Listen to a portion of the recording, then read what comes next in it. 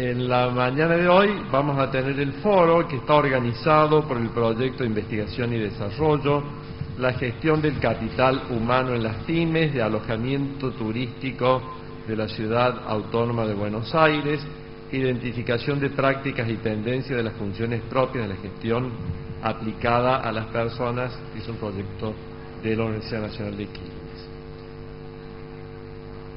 El licenciado Cristian Uriel, docente investigador de la carrera en, aquí en la Universidad Nacional de Quilmes, es el coordinador de la comisión de ADRA y va a ser el moderador general de este foro. En primer término vamos a tenerlo al licenciado Uriel y posteriormente, integrando en la primera parte del foro, a la licenciada Florencia eh, Deverín, quien se va a referir a perspectivas del mercado laboral, indicadores y proyecciones socioeconómicas con impactos en la gestión, prácticas y tendencias de mercado en la gestión de recursos humanos. La licenciada Florencia de Beril es directora del área People and Change de la consultora Price Waterhouse y también es licenciada en Administración de Empresas por la Universidad de El Salvador y tiene un máster orientado en recursos humanos de la Universidad de Palermo. Florencia se ha incorporado recientemente a C, desempeñándose como Managing Director de la práctica de People and Change, posee vasta experiencia en la dirección de proyectos de cambio cultural, cambio organizacional, gestión de clima, liderazgo, marca empleador, compensaciones y beneficios y diseño organizacional.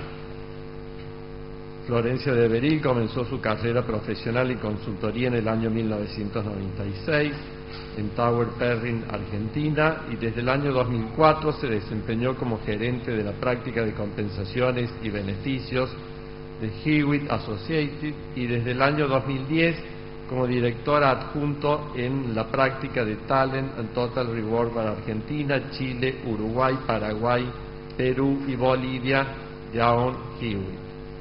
En tanto, el licenciado Cristian Uriel, que va a ser quien va a introducir la temática, es licenciado en Relaciones del Trabajo en la Universidad de Buenos Aires, tiene además un posgrado de Administración de Negocios de la Universidad de Belgrano, posee más de 20 años de experiencia en el área de los recursos humanos, capacitación y desarrollo de recursos humanos, compensaciones y beneficios, liquidación de haberes, administración de personal, reclutamiento y selección, Actualmente se desempeña como jefe de compensaciones y tecnologías de información de recursos humanos en el Correo Oficial de la República Argentina y como investigador y docente de grado y posgrado en las carreras de Administración Hotelera de la Universidad Nacional de Quilmes y de Relaciones del Trabajo en la Universidad de Buenos Aires.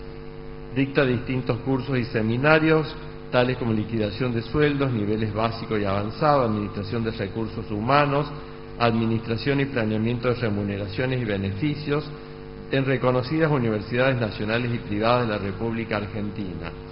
Participó como expositor en congresos y seminarios nacionales e internacionales, coordina la Comisión de Compensaciones de la Asociación de Recursos Humanos de Argentina, ADRA, y prestó servicios de consultoría y asistencia técnica en materia de gestión de recursos humanos a pymes de distintos segmentos del mercado. Con ustedes, los expositores. Eh, bueno, bienvenidos a todos. Mi nombre es Cristian Uriel, me presentaba este, Rodi recién.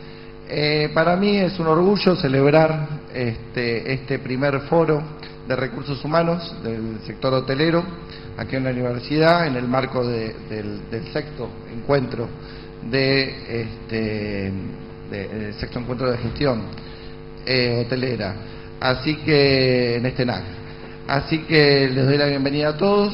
Espero que disfruten tanto como yo.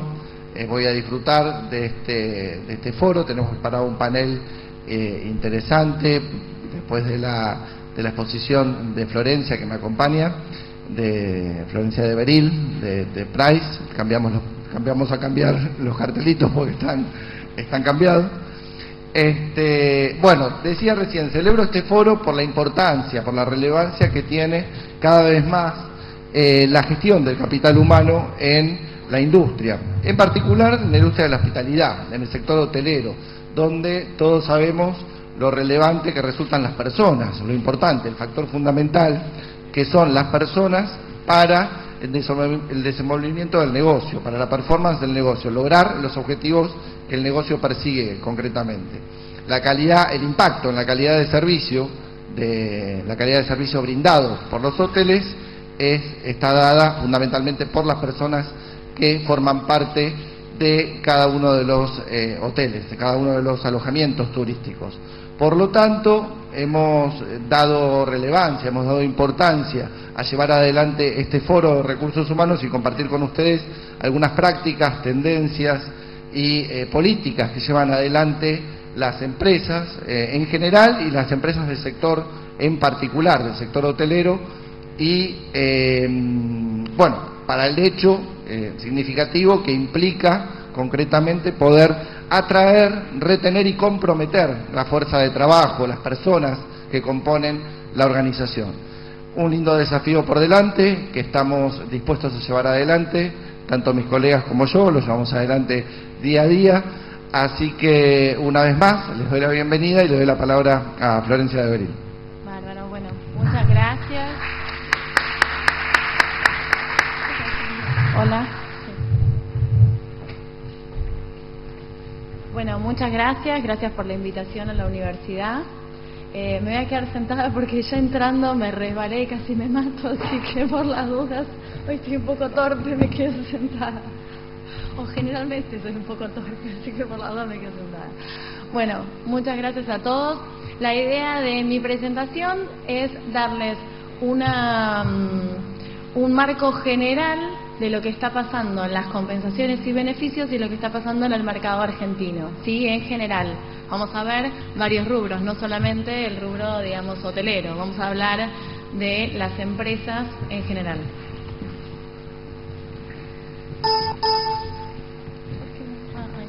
Perdón. Ahí está. La primera slide es qué es lo que está pasando hoy en el, digamos, en recursos humanos en el mercado argentino. Elegí cuatro de los indicadores más importantes, sí, que miran las empresas o cuáles son las preocupaciones, digamos, que tienen hoy las empresas. Uno es la rotación de personal, que en promedio es del 10%, fue aumentando, el año pasado era un 8%, con lo cual se prevé, es pequeño, esto es genérico, cambian las muestras, no siempre son las mismas empresas. Ustedes saben que todo lo que es estadístico eh, a veces, digamos, puede fluctuar, pero es importante, ¿sí? Puede ser una tendencia. El solapamiento, más del 80% de las compañías sufre el solapamiento.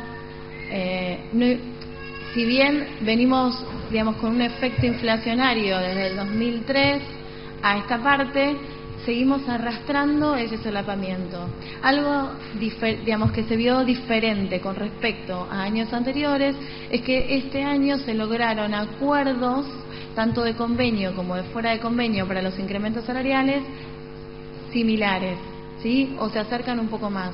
Por ahí el año 2010 fue un año muy fuerte para los incrementos este, salariales de convenio y generó una brecha y por ende un achatamiento, digamos, un solapamiento eh, del personal fuera de convenio y dentro de convenio. Creo que los convenios desde el 2008 a esta parte fueron ganando, digamos, ah, ok, fueron eh, ganando el espacio y logrando, digamos, hacer la recuperación del salario, sobre todo con los años de los 90, donde la brecha entre un gerente general y, un operario era casi de, de 20 veces su salario.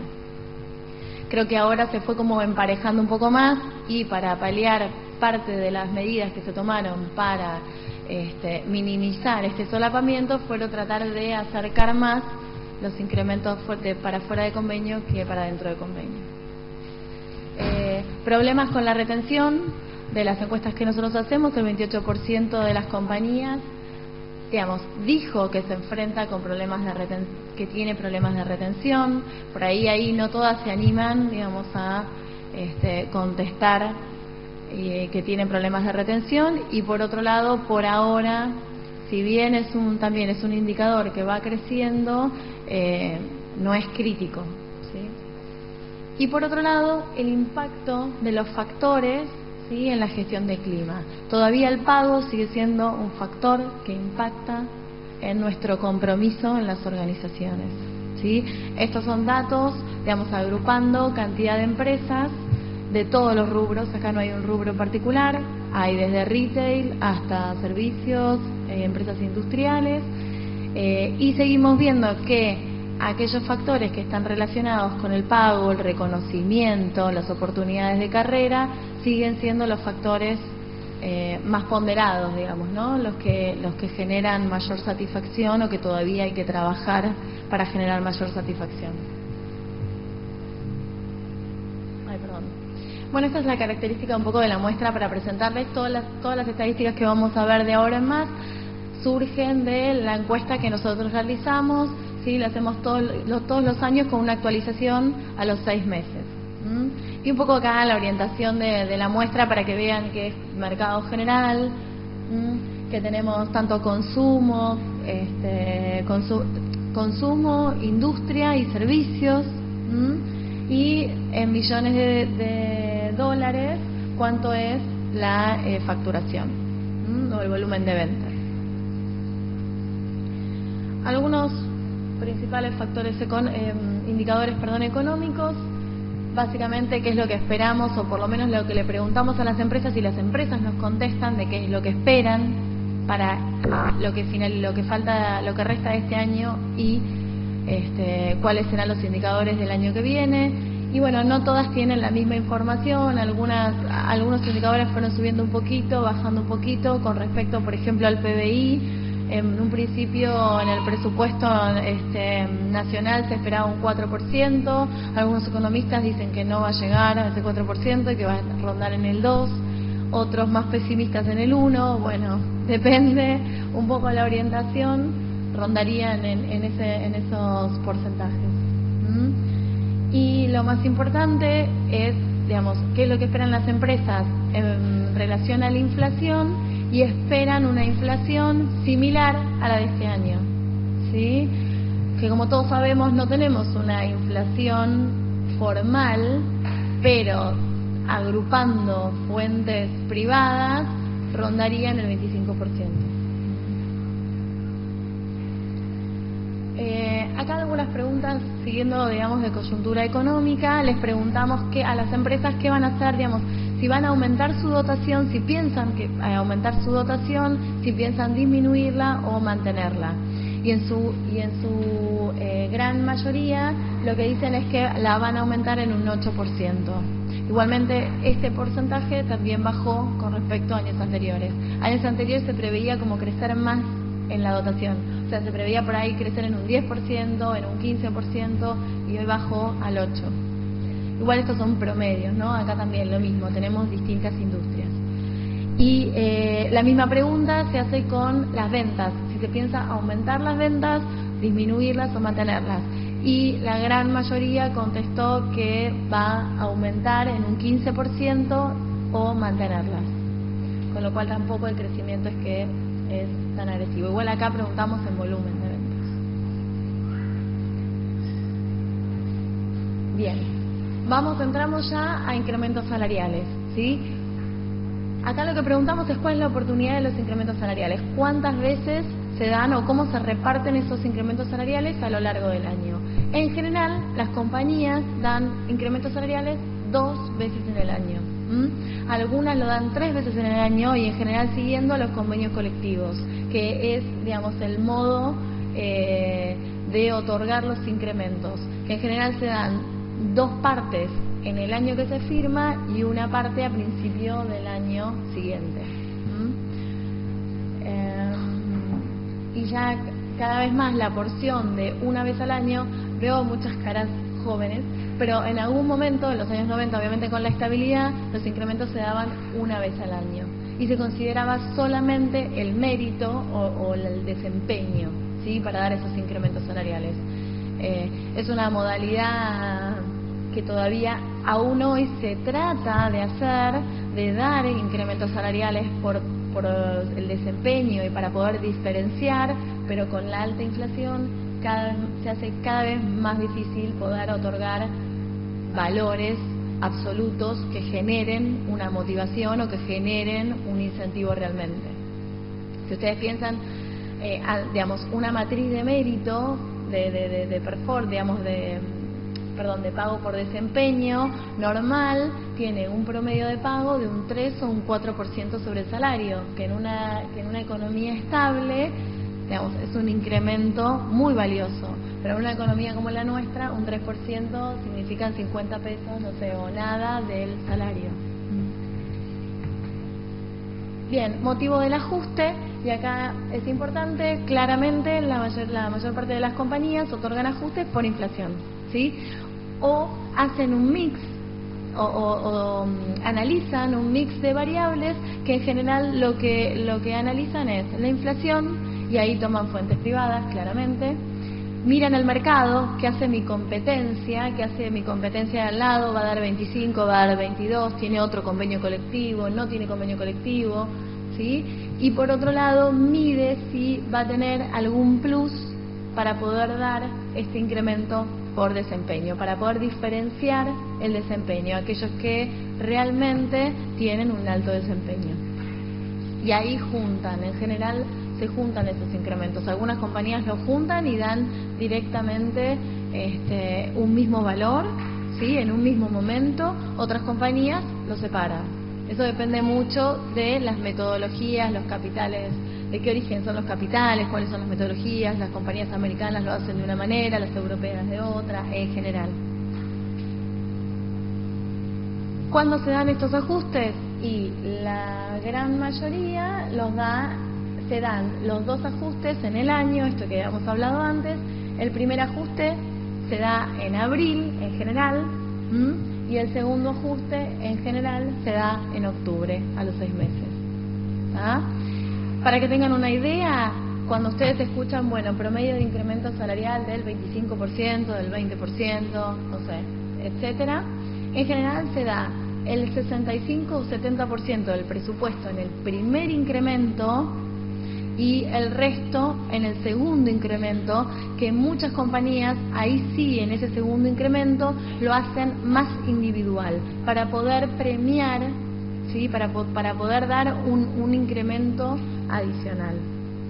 No todas pueden, algunas están más, digamos, las que están más comprometidas con respecto al gremio, a los convenios, o que tienen muy planas las estructuras, no pueden jugar, digamos, no pueden eh, diferenciar, ¿sí? Este, y premiar el desempeño. Bien, acá información general, mercado general, lo tienen abierto. No sé si ven los que están del otro lado, porque ya están amarillos, pero acá tienen mercado general, el, lo que se espera en promedio de incremento. Esto no quiere decir que sea ni el impacto en el payroll, o sea, el impacto en la masa salarial. Esto es lo que se da en promedio de incremento salarial. Y eh, acá tienen mercado general 2012 24.4, 2013 23. Pero depende un poco el, el mercado o la zona. Acá tenemos Rosario, Córdoba y Mendoza. Pero básicamente rondan en los mismos valores. Generalmente Mendoza siempre está un poquito por debajo. Obviamente Rosario está muy pegada a Buenos Aires en el sentido también de, digamos, de las industrias y de la competencia por los recursos, por lo tanto, ahí sí que se paga, digamos, más, eh, y Córdoba como un gran centro, obviamente, industrial, ¿no?, de, empresas y... Y acá de este lado lo tienen por nivel jerárquico, los niveles superiores. En general los niveles superiores siempre tienen unos, algún punto menos ¿sí? en estos promedios de incremento salarial, porque aparte los niveles superiores tienen otros componentes de pago. Un director ¿sí? tiene generalmente un pago variable o un bono ¿sí? por los resultados que genere y por lo tanto ahí también generalmente en esos, en esos niveles se ve en promedio un eh, incrementos un poco más bajos. Y obviamente en los niveles inferiores o en el medio, ahí ya juega también el estar más pegado al convenio. Bueno, acá es lo mismo, pero puesto de otro lado, adelanto un poco, esto por ahí les puede interesar. Eh, esto es información para que tengan relaciones ¿sí? de salarios. Esto es información de la base de datos.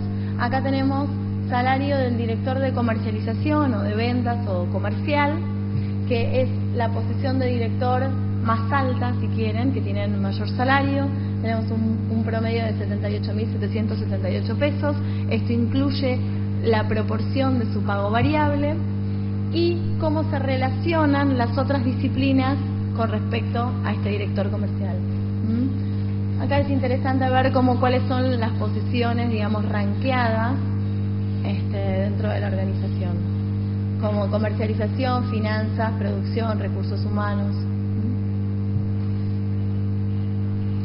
Acá lo mismo, pero dentro de un área. Puse recursos humanos como para que tengan también así una idea digamos, de un salario de la remuneración del director de recursos humanos de 69.917, cómo se desprenden o en cuántas veces hasta la última posición que puede estar o no dentro del Departamento de Recursos Humanos, como puede ser la de la enfermera.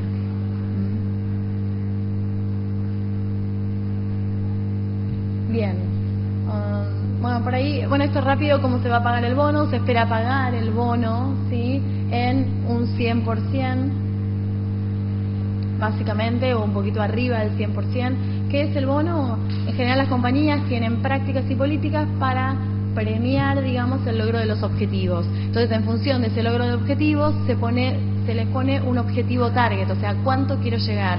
Y si llego a ese objetivo, voy a pagar un premio o un bono. Y entonces, lo que estamos viendo acá es que las compañías esperan pagar por sobre el target, en general.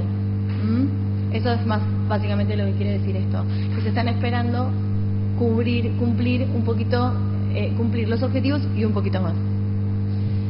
Bien, acá básicamente lo del solapamiento, pero acá lo que tiene relevancia es que en general las compañías no se ve mucho, pero lo que hacen es otorgar, digamos, cómo, cómo trabajan este solapamiento para que no ocurra, lo que hacen en general, lo que contestaron en general es que dan incrementos puntuales a esas posiciones que están solapadas y de esa manera, digamos, logran separar un poquito, sobre todo jefe y supervisado. ¿Mm? Otra de las cosas que hacen, ahí algunas dicen todavía no sé muy bien qué es lo que voy a hacer y otras dan directamente el mismo incremento salarial tanto para el jefe como para el supervisado, por más que uno esté fuera y el otro dentro de convenio, para evitar que se choquen los salarios.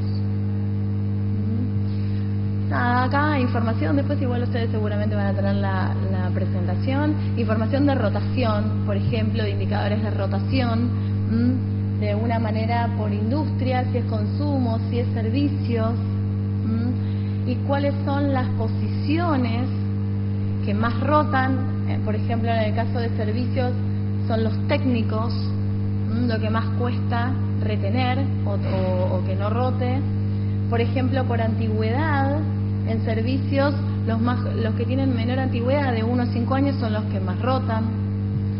Y en cuanto a las áreas, en, servicios, el área de operaciones también es la que más tiene rotación. Algunos, acá para llenar un poco más también con indicadores, algunos indicadores de, ya vimos, de los, factores que impulsan el compromiso, esto es también promedio de las empresas que contestaron esto en Argentina. Y tenemos que todavía oportunidades de carrera, reconocimiento, compensación y comunicación son factores en los que hay que trabajar y son los ponderados para mantener el compromiso. Mm, acá esto del alto desempeño, alto potencial, Mm, sí, acá lo que le preguntamos a las compañías es si tienen políticas para premiar al personal de alto potencial o a este personal que tiene alto desempeño y contestan algunas que no, no, no, no tienen aumentos diferenciados, pero la gran mayoría dice que sí, que tiene, esta matriz de mérito tiene, este, incluye incrementos para, para las posiciones claves y otra de las medidas que se toma es que dentro de un proceso de incremento salarial normal, que tiene pautado por metodología, que puede ser digamos, por dentro del convenio o por fuera del convenio, lo que se hace es a esta gente que tiene alto potencial o alta performance, para retenerla por ahí o para acelerar su crecimiento, se les da incrementos salariales fuera de ese ciclo normal. O sea, en general se tiende como a romper un poco la regla en pos de retener o, o atraer a este tipo de perfiles. Beneficios en general, bueno, rápido, no quiero, no quiero aburrir más, pero básicamente acá tienen como todo un listado de cuáles son los beneficios más prevalentes en la industria, cuáles son los beneficios que se dan, como por ejemplo el automóvil o el horario flexible. Acá los marqué porque, digamos, en algún momento el plan de retiro tenía mayor prevalencia y hoy por hoy con, digamos, las normas nuevas y demás, está bastante complicado el tema de la administración, de los planes, y hay muchas compañías que los tienen en stand-by. Horario flexible crece en cuanto como un beneficio este, implementado por las compañías y las stock options bajan. Esas son las acciones. Muchas compañías otorgaban acciones de su compañía como forma de pago. A, los, generalmente se les daba ejecutivos o personal clave que les era muy interesante porque eran en son en general en moneda dura, en moneda dura, sí, porque cotizan en las bolsas del exterior. Pero hoy por hoy con las trabas y todo también hacerse de ese efectivo es complicado, no se pueden comprar. Bueno, es bastante complejo hoy por hoy la administración. Bien, otros beneficios interesantes por ahí para ir descubriendo qué otras cosas se pueden estar dando, como descuentos en comercios, por ejemplo, este, que cada vez se da más eh, tener por ahí una tarjeta propia, como si fuera una tarjeta de la nación de descuentos o como la tarjeta de crédito, darle a los empleados la misma una tarjeta de ese estilo con descuentos exclusivos, reintegro por gastos de medicamentos, masajes en la compañía, orientación legal, orientación nutricional, clases de yoga, servicios de trámites, mm, hay empresas que se dedican a eso, eh, reintegro de gastos eh, por hijos con discapacidades, orientación financiera, espacio de juegos, bonos por referidos, por ejemplo. Esto se usa mucho en las compañías si ustedes refieren a un amigo o a algún conocido para cubrir alguna posición, se les da como se evitan un montón de pasos de un headhunter o, de una consultora de selección y demás, se les da un bono eh, como una gratificación por referir a una persona. Bueno, orientación psicológica y clases de baile, qué sé yo, ahí es, variado. ¿Cuáles son los que más ponderan los empleados? Ahora les preguntamos a los empleados, bueno, tienen todo esto, pero ¿cuáles son los beneficios ¿sí? que más ponderan, que más les interesan? y claramente sigue siendo la cobertura médica, la flexibilidad laboral, el comedor en planta y el transporte, los que realmente terminan impactando directamente y que pueden ser, este tipo de beneficios pueden ser como, como valorizables en dinero. ¿sí? Generan, o sea, si el empleado no los tiene, generan una, una erogación. Por ahí, la, no sé, la clase de gimnasia o el yoga también pero son optativos, ¿sí? En general estos son como higiénicos. Bien, y terminando, que ser rápido, ¿no? Rápido para cumplir con el tiempo. ¿Cuáles son los desafíos? Le preguntamos, bueno, ¿cuáles son los desafíos para el 2013? Y el primero que surge por ahí económico es un supuesto, todavía obviamente no, no, lo sabemos, pero por ahí un enfriamiento de la economía. Esto de que ese PBI baje eh, veremos ¿no? qué medidas se toman después, pero es algo que está en la agenda y que es una preocupación. La inflación versus el tipo de cambio. Ahí tenemos un problema, cada vez somos, más caros en dólares porque tenemos inflación en dólares, con lo cual nuestra competitividad regional se ve en algunas, no, digo en todo, pero en algunos casos se ve afectada. Por ejemplo, con un call center o que no elijan Argentina como un país para instalarse, invertir y demás. Eh, el solapamiento, ¿sí? seguir arrastrando por ahí inequidades con este, con este, solapamiento, desempleo versus retención de talento. Veremos qué nos depara el destino para el año que viene, pero bueno, son las preocupaciones que tienen eh, los directivos o, los gerentes de recursos humanos. Y el amarillo que mucho no se ve dice ajustes fiscales, cepo al dólar, nuevos proyectos de ley que afectan a los beneficios, a nuestras prácticas y políticas de recursos humanos. Y que hacen que tengamos que salir a corregir el que tenía stock options o, podían comprar acciones de la compañía, no las pueden comprar más, eh, tienen que eh, rever todo el estatuto y el reglamento del plan de pensión porque lo tenían por ahí con inversiones en el exterior, no se puede entrar más, bueno, y así un montón de cosas, este, impuesto a las ganancias que, digamos, cada vez es más abarcativo y bueno, y así los cambios, la, famosa ley recalde y veremos qué nos depara el destino para el año que viene, pero son parte de este, los comentarios que nosotros recogemos de los gerentes de recursos humanos. Bueno, hasta ahí llega mi presentación. Lo hice lo más rápido que pude, no me caí, por suerte, no tiré el agua, no tiré el micrófono. Eh, no sé si alguno tiene alguna pregunta. Antes de aplaudir, si alguno tiene alguna duda, veo dos caras jovencitas, pero acepto cualquier pregunta, ¿eh? me pueden preguntar lo que quieran. Por allá. Sí, ahí te acercan el micrófono. Buenos días.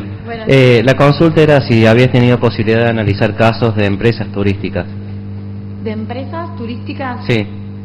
Porque era, si bien el trabajo en general, diríamos, nos interesaría un poco el problema de las empresas turísticas es que muchas empresas, a ver, si hablamos de turismo en general, por ahí podemos sacar el sector hotelero, no todo el sector hotelero, pero sí las empresas turísticas en general no comparten información salarial, ¿sí? Muchas son de dueños o tienen administraciones por ahí que no, no todas las administraciones son en blanco, con lo cual es complicado, no es fácil de tomar información de empresas turísticas. Alguna vez me tocó trabajar y hacer este, un, análisis salarial para una empresa de cruceros muy importante, multinacional, pero nos fue muy difícil conseguir información específica por ahí de supervisores de operaciones o, la persona que estaba, digamos, a cargo de la operación de la sucursal, ¿no? El que, el que estaba a la venta. Muy difícil, muy difícil. Tienen como este, eh, políticas de pago muy diferentes. Así que la verdad no te puedo decir exactamente, este, porque no tengo no tengo suficiente información como para, para darte, no sé, algún, alguna referencia. Es distinto por ahí los hoteles, obviamente las cadenas internacionales, cinco estrellas, Ahí sí hacemos un montón de, de, investigación y de análisis de salarios, sí se comparan entre ellos, mm, para las posiciones sobre todo fuera de convenio, las que están convencionadas en general están nomencladas y alguno puede dar un poquito más, un poquito menos, pero en general están dentro de las, normas y si acuerdan el 26%, 26%, 27% o, el, año que sea lo que acuerden, eh, sea gremio gastronómico o Muchas gracias. Todo lo que puedo. ¿Una pregunta más?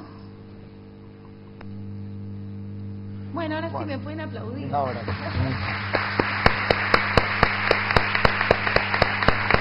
Eh, muchas gracias. Muchas gracias, Flor. Y esto me parece que no, no funciona. De nuevo. Hola, hola. Sí, me he ahí últimamente. Hola, hola.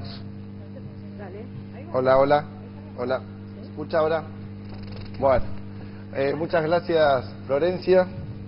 Entiendo, entiendo que la información que nos provee, nos ha proveído Flor eh, en relación al mercado general, a los distintos sectores de actividad, las diferentes industrias, también hacen lugar a la industria y el sector hotelero en particular. Lo decía recién Florencia cuando mencionaba en particular hoteles de cinco estrellas, de cuatro o cinco estrellas que participan de eh, encuestas, también encuestas de gestión de capital humano en general y de remuneraciones en particular, donde la información que comparten y las prácticas que llevan adelante son bastante similares a las del mercado en general. Por lo tanto, entendemos, entendí yo cuando convoqué a Florencia, que iba a ser relevante la información que ella iba a poder presentarles, porque iba a ser el panorama eh, general de lo que sucede en el mercado, que no escapa, sin duda, al eh, sector hotelero. ¿sí? Por otro lado, yo les voy a hablar, mi presentación está vinculada con la generación I. ¿sí?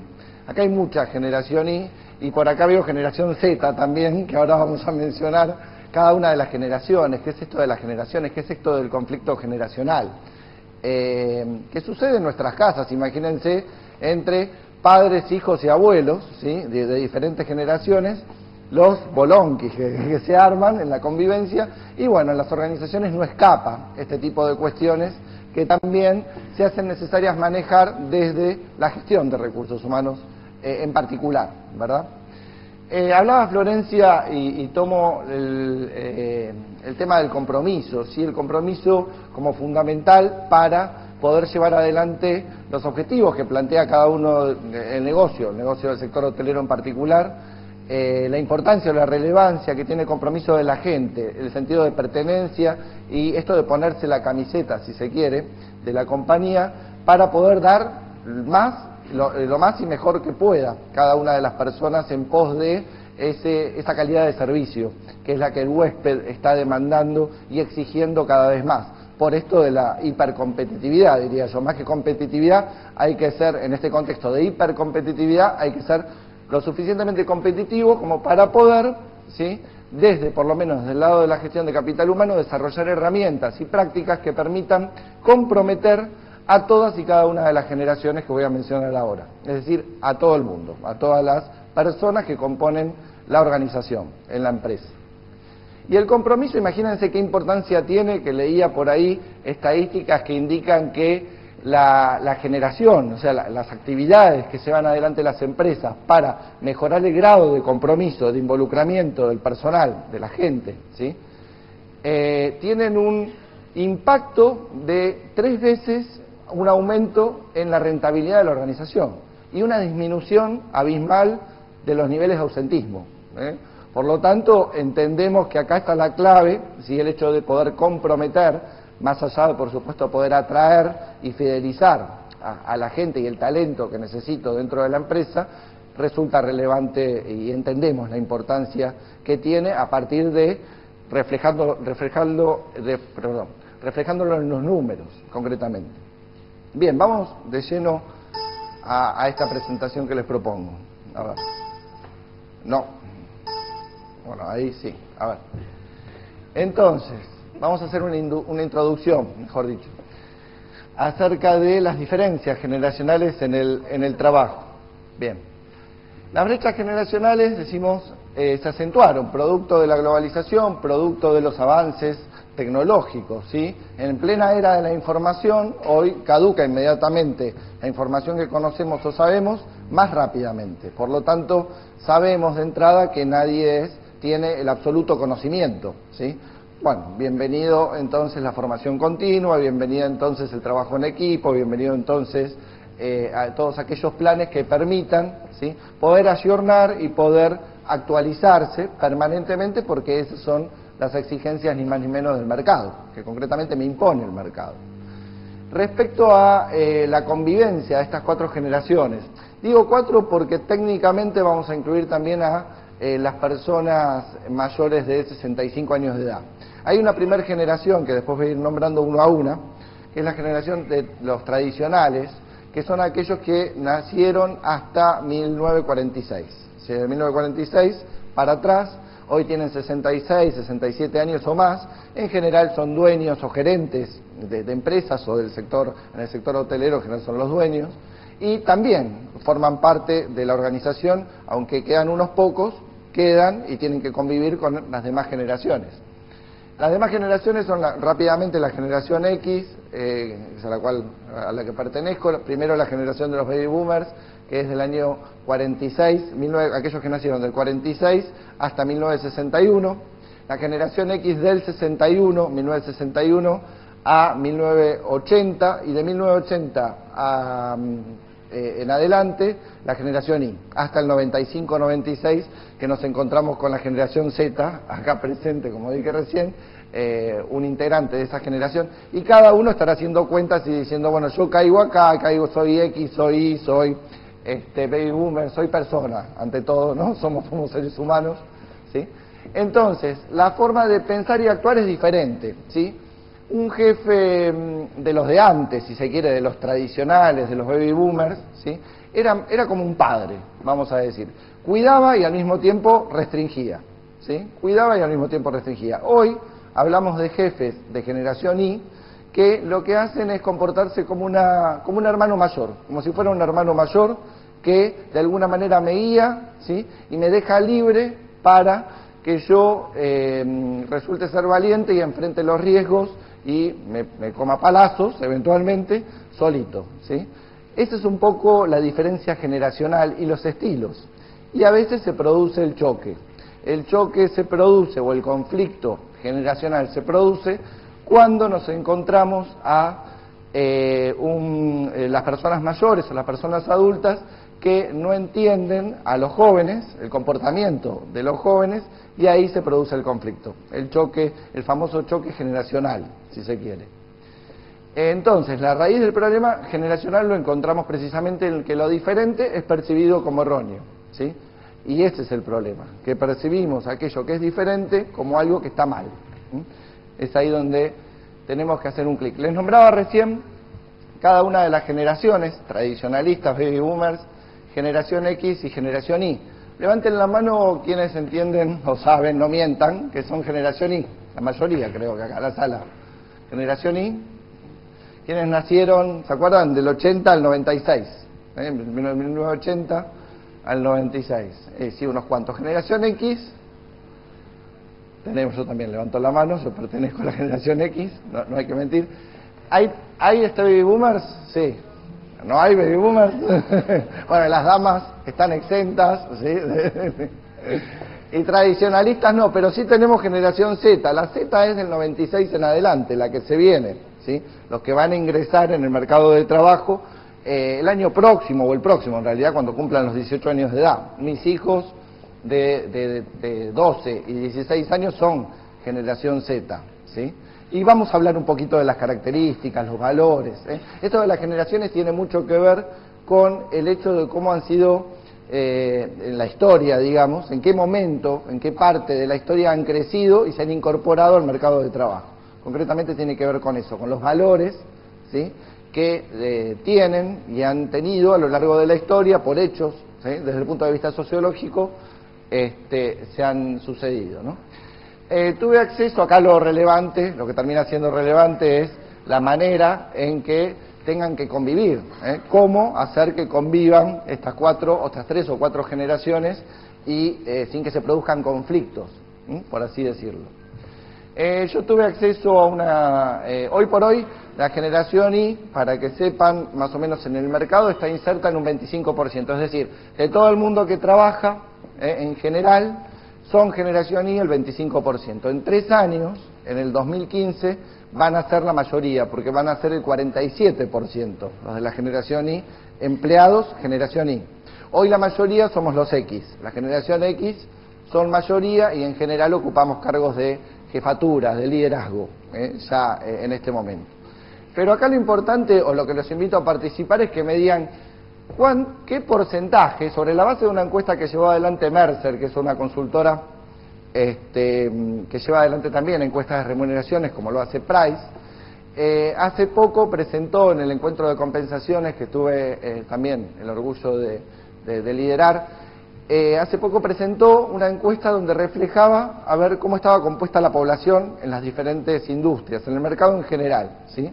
Y decía que un porcentaje X de la generación Y, no los quiero confundir entre generación X, a ver, un determinado porcentaje de la generación Y ya eran directores generales, o sea, números uno en las empresas. A ver eh, si si, si alguien se anima o alguien sabe o se tira el lance, ¿de qué porcentaje estoy hablando? Generación I, es decir, que tiene entre, no sé, a ver, eh, 20, 18 y 30 años, 30, 31 años, ¿sí? Que eh, sean gerentes generales. ¿Qué porcentaje? Sobre la base de una encuesta a 200 empresas grandes. No. Hay premios, así que no. No. Mucho menos. ¿Eh? 10, no, menos. ¿Quién dijo 3? Y anduviste muy cerca y anduviste cerca también. 4% te ganaste un bonobón que no me ajuicia. Un aplauso para eso. 4% vale decir, vale decir que tenemos eh, alrededor de 8 sobre 200, 8, mm, empresas que tienen como números 1 a un generación I, ya, ¿sí? A un generación I. ¿Vale la revancha? ¿Se animan? Porcentaje de gerentes, generación I, de esta misma encuesta, ¿eh? donde participaron 200 empresas líderes del mercado. ¿Cómo? No, tenemos más, tenemos más. 20, un poco más. ¿Quién da más? 28. ¿Eh? 28, tuviste muy cerca de Edith, así que te ganaste un premio para Edith. Aplauso para Edith. 28, 29%, ¿eh? por uno, por uno, ahí 29% es el, eh, la cantidad de gerentes, generación I. Y si vamos a los jefes, si vamos a los jefes es un número parecido, a ver, el que tire primero, ¿eh? 30, 32, por ahí andan. ¿Quién dijo 32? ¿Allá? ¿30 o 32? ¿Qué dijiste? ¿Acá? Acá, ahí va. Un aplauso también para eso. Bueno, como verán, la generación I, estos jóvenes, vamos a decir, por lo menos más jóvenes que yo, como muchos de ustedes, ya son jefes, gerentes y directores principales, números uno, en las empresas. ¿sí? Y esta misma generación I que hoy representan alrededor del 25-26% de la población, de los trabajadores en general, dentro de tres años, hacia el 2015, van a representar casi el 50% de los trabajadores en las organizaciones. El tema es lo que viene, ¿no? Lo que viene después con la Z, ya se van a enterar. Este, ¿Y dónde dejé yo el...? Allá, gracias. Bueno, ya se van a enterar lo que viene. Bueno, los tradicionalistas, rápidamente, son aquellos que eh, han nacido y atravesado eh, importantes crisis y sobre todo guerras, eh, entre guerras, ¿sí? Por lo tanto, valoran muchísimo lo que es el, lo que tiene que ver, bueno, aquí la experiencia es valorada, el tema de la disciplina, el respeto por la autoridad, ¿sí? son personas, como dije recién, que técnicamente en este momento están o deberían estar jubiladas, pero se mantienen en actividad y pueden ser dueños de, de hoteles o pueden ser dueños de alojamiento de distintos tipos de MIPIMES, de alojamientos turísticos en general. Son los nacidos hasta 1946. Baby boomers, ¿sí? Baby boomers son adictos al trabajo. Esta es la definición que encontré. ¿Por qué baby boomers? ¿Por qué esta definición? Porque son los, los que eh, se criaron y este, ingresaron al mercado de trabajo en el momento del final de la guerra, ¿sí? de la guerra mundial. Por lo tanto, se encontraron con, un, con otro panorama son adictos al trabajo, prefieren, como dije recién, este, a ver, delegar o resignar, mejor dicho, su tiempo libre en pos de resultados que la empresa o el negocio esté esperando, ¿sí? en pos del trabajo, en definitiva. Vamos a ver después cuál es el abismo que los separa con la generación I, con, muchas con muchos de ustedes en general. Bien, generación X, del 61 al 79 dijimos, la cual me siento reconocido, ¿sí? Son los que, bueno, nos motiva el desarrollo de carrera, aprender cosas nuevas, ¿sí? Habilidades nuevas para el desarrollo de nuestra carrera.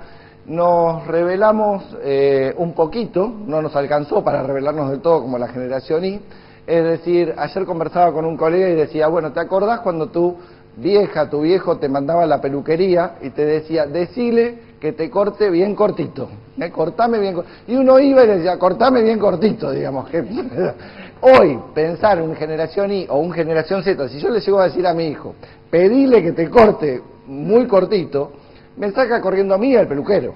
Rápidamente, esto, esto es así, ¿sí? concretamente. Entonces la generación X eh, quisieron, o quisimos ser un poco más libres, ¿sí? pero hasta ahí, ¿eh? seguimos cumpliendo y seguimos yendo a donde nuestros padres nos llevaban de vacaciones, por ejemplo, cosa que hoy ¿eh? nos cuesta lograr con nuestros hijos.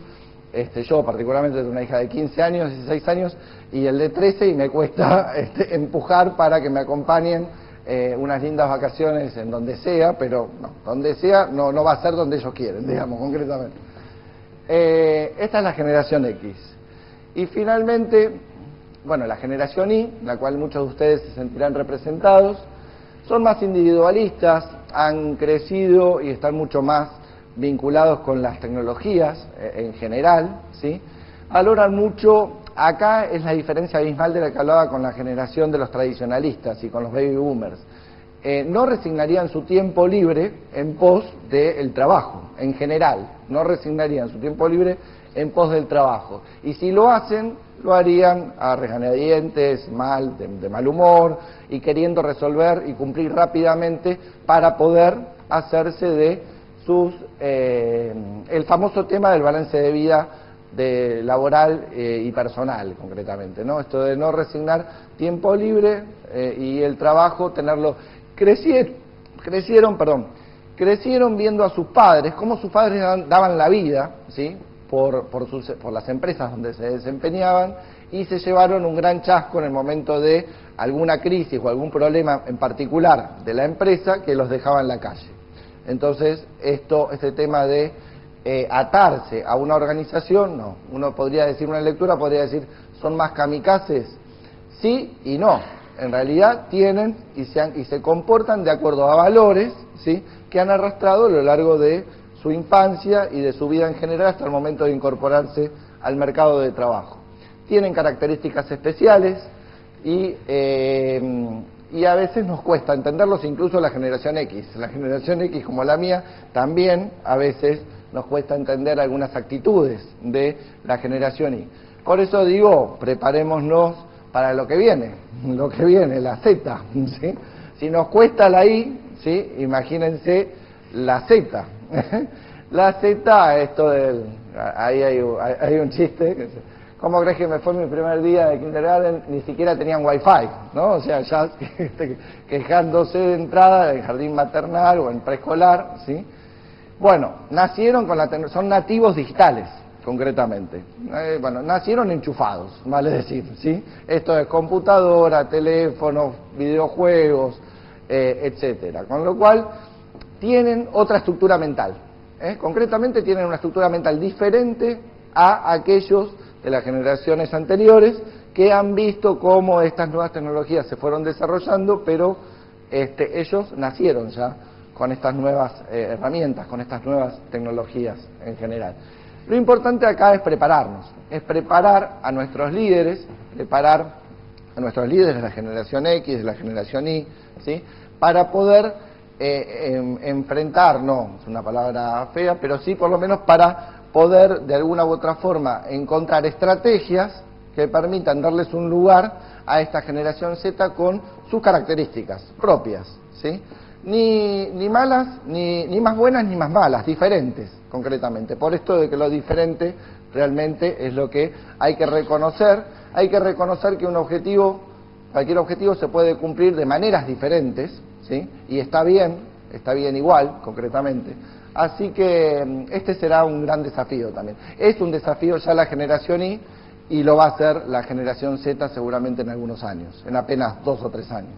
¿sí? Entonces, soluciones para este conflicto generacional, soluciones mágicas no hay, sí algunas recetas que nos ayudan un poco más a, eh, aflojar con, este, con estos conflictos y con estos problemas en general y con esta relación que a veces produce choques entre el jefe y el subordinado.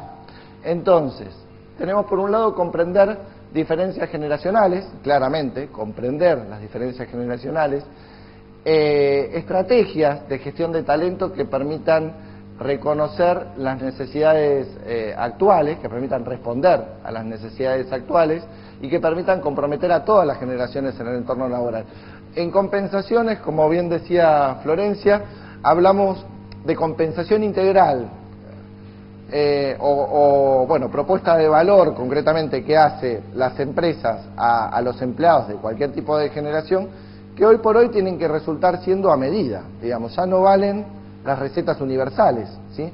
¿Por qué? Porque lo que le va a gustar a la generación X no es lo mismo que le vaya a gustar a la generación Y o Z, ¿sí? Yo me tengo que adaptar concretamente, tengo que adaptar mi propuesta de valor en materia de compensación integral para los que no saben qué es compensación integral, sería la suma de las, de las retribuciones monetarias más retribuciones no monetarias, incluyendo los beneficios, el plan de carrera y la capacitación y desarrollo. Y el ambiente de trabajo, también, incluido. Entonces tengo que trabajar para poder ser atractivo al mercado, para poder captar más y mejor a ese, a ese talento que necesito dentro de la organización, sea de la generación que sea. ¿Sí? Sea de la generación que sea. Entonces tengo que trabajar con planes más individuales. Para el logro de los objetivos del negocio se requiere un talento multigeneracional. Sí, todos tenemos ideas diferentes, como decía recién, que pueden aportar ¿sí? Hacia la mejora y la eficiencia del negocio. Por lo tanto, todas las ideas son bienvenidas, el debate es bienvenido, y esto de que puedan concretamente y fundamentalmente que puedan eh, compartir y debatir ideas los más jóvenes con la gente mayor es importante, es relevante. Nos tenemos que escuchar, básicamente, para poder que siempre tenemos algo que aprender. ¿eh? Siempre tenemos algo que aprender de, la, de, de los adultos mayores, maduros, y de las personas jóvenes también. Algo nos van a enseñar concretamente. Entonces, acá es la lógica, si se quiere, de la convivencia, o pasa por ahí, la convivencia multigeneracional. ¿sí? Se deberá bueno, generar una cultura que incluya una comunicación efectiva y aceptación claramente de la diversidad. Y finalmente fomentar un aprendizaje continuo y el enriquecimiento profesional por medio precisamente de la interacción de cada uno de, las personas que conforman la organización de las diferentes generaciones. ¿sí? Bueno, espero haber sido claro, fui así de rápido porque me venían corriendo con los tiempos. Eh, ahora sí atiendo preguntas también, si hay alguna en el auditorio. Quedó, o quedó todo muy claro. sí. Hablaste de porcentajes Buen día. Buen día. Eh, represento la Universidad de San Luis. Y la consulta es la siguiente. Eh, mencionaste porcentaje eh, sustancialmente alto de gerentes generales de menos de 35 años. 4%. Sí. Ayer, en una de los debates, en una de las presentaciones, se habló de una adolescencia prolongadísima hasta los 28. Sí. ¿Se escucha? La, pregunta es, eh, ¿cómo ven ustedes desde esta óptica técnica la inserción de estos adolescentes tardíos en estos puestos? ¿O qué porcentaje de esos adolescentes son los que están ocupando puestos de decisión? Eh, sí, es difícil, qué, buena pregunta, ¿no? Generalmente escucho decir, cuando uno dice, qué buena pregunta es porque no hay una respuesta, digamos, no hay una buena respuesta, digamos. ¿no? Hay una respuesta exacta, no, la verdad es esa, tampoco soy eh, un especialista en la materia como para poder responder, y, pero a ver, eh, sí es cierto esto que decís, este, de eh, que se, esto de alargar, que se alarga la adolescencia, la adolescencia eterna, ¿no? La propaganda esta de, los chicos que la naturaleza es más, más viva, más inteligente, que abandona el nido al par de meses y después esta madre que recibe a su hijo este, de 30 años o más este, viviendo en la casa. Hay, yo creo y estoy convencido que, que de todas formas en aquellos a ver que consideramos talento para llegar a ser número uno sin duda algo algo talentoso tiene que tener tiene que estar presente eh, o algo totalmente creativo y novedoso que contribuya al logro del fin del negocio no que contribuya con lo cual eh, entiendo que, bueno, hay excepciones, digamos. Yo me voy a encontrar en una punta con este de la propaganda y en otra con un joven brillante, ¿eh? que con apenas 25 o menos años de edad alcanza a ser número uno o número dos dentro de una compañía. ¿sí? Eh, no, no sé, no, no puedo responder exactamente la pregunta, pero lo que hay que reconocer es que no todos somos iguales hay una, si bien estamos pintando generaciones en particular y podemos generalizar eh, diciendo, si nos escapa esta tendencia de decir, bueno, se alarga la adolescencia, no sea hasta dónde alcanza a todos, a, todos, a todos los niveles en general y aplica concretamente en todos los casos. Yo creería que no, porque nos encontramos con realmente con jóvenes en la empresa donde yo trabajo, me encuentro con jóvenes muy, muy, muy talentosos, que uno da gusto escucharlos y aprende realmente esto que decía recién, ¿no? Esto de aprender también de los más jóvenes Mm, y, bueno, hay que, hay que por ahí eh, poner otro, otro cassette, por así decirlo, otro, otro disco y escucharlos de esa forma y a partir de ahí poder entender qué es lo que están proponiendo y qué tiene de bueno y qué, se rescata desde ese lado. Pero bueno, por ahí son dos mundos diferentes. No sé, te respondí. Bueno, sí. No, una, una cuestión media básica, que son ambos son componentes válidos, digamos, y no son contradictorios, porque pueden no ser el mismo segmento. El adolescente tardío puede no ser ese segmento de los gerentes o de los puestos más, digamos, gerenciales, no son contradictorios, digamos, son simplemente complementarios o, o, situaciones que se dan dentro de las mismas empresas. era eso, Muchas gracias, muchas gracias. Bueno, muchas gracias a todos.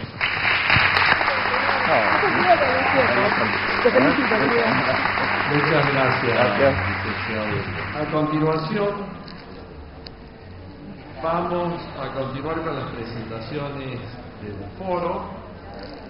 ¿Se ve de ahí? El siguiente panel se va a referir a los desafíos actuales de la gestión, herramientas para lograr atraer, fidelizar y motivar el talento. Gracias por La primera expositora será la licenciada María Alejandra Gacera, quien es investigadora de la Universidad Nacional del Comahue, licenciada en Turismo y magíster en Marketing de Servicios.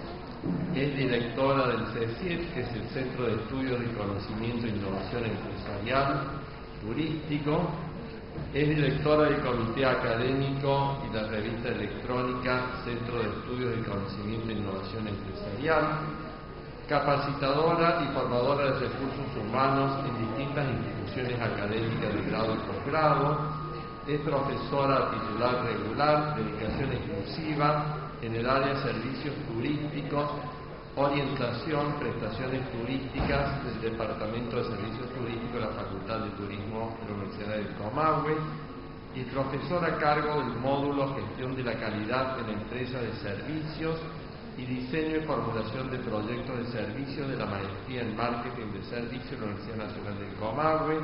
Es directora del proyecto de investigación Capital Intelectual en el sector hotelero, un modelo para su medición y es coautora de los libros Las empresas turísticas y su administración, compendio de estudios y perspectivas de la administración de organizaciones turísticas, y es autora también del libro Administración de Recursos Humanos, una visión integradora y moderna en empresas turísticas. Con ustedes, la licenciada María Alejandra García. Bueno, buenos días a todos. Eh, yo me quedé todavía un poquito prendada con el tema de las generaciones. De Cristian yo le propuse hacer una nueva categoría de dinosaurios para poder este, estar un poquito más alejada, ¿sí? más cerca de las generaciones X. Eh, bueno, el tema de recursos humanos es un tema complejo, tiene muchísimas aristas de análisis. Yo voy a tratar de dar eh, producto de mi investigación y de la investigación que llevamos a cabo en el centro de estudio sobre gestión de capital intelectual a nivel hotelero. Específicamente nosotros trabajamos en la región patagónica eh, con algunas extensiones. Hemos incorporado a la licenciada Rosana Gil de la recientemente y exitosa, espero, Facultad de Turismo de Merlo Así que bueno, la idea es poder dar dos o tres ideas y si esas dos o tres ideas son las dos o tres este, cosas que ustedes hubieran querido escuchar, entonces cerramos ahí. sería exitoso. Eh, la base empírica, entonces, eh, para lo cual eh, baso esta disertación, apa, básicamente se centra en investigaciones que venimos llevando a cabo desde el 2008 en la búsqueda de nuevas fuentes de ventajas competitivas, porque las tradicionales ya no son suficientes, y tiene que ver con esto de la gestión del conocimiento y capital intelectual. Venimos desarrollándolo desde el 2008, hemos trabajado para eh, armar una lógica teórica de un modelo que pueda ser aplicable tanto a categorías 5, 4, 3, 2 y una estrella. Es decir, hay una realidad, yo escuchaba a mi antecesora de recursos humanos, que las características nuestras en la región patagónica es de MIPIMES. Eh, la región patagónica completa aporta con el 17% ¿sí? de las plazas hoteleras a nivel nacional. ¿sí? En Neuquén, donde yo trabajo, con el 3,6% y el 90% son MIPIMES.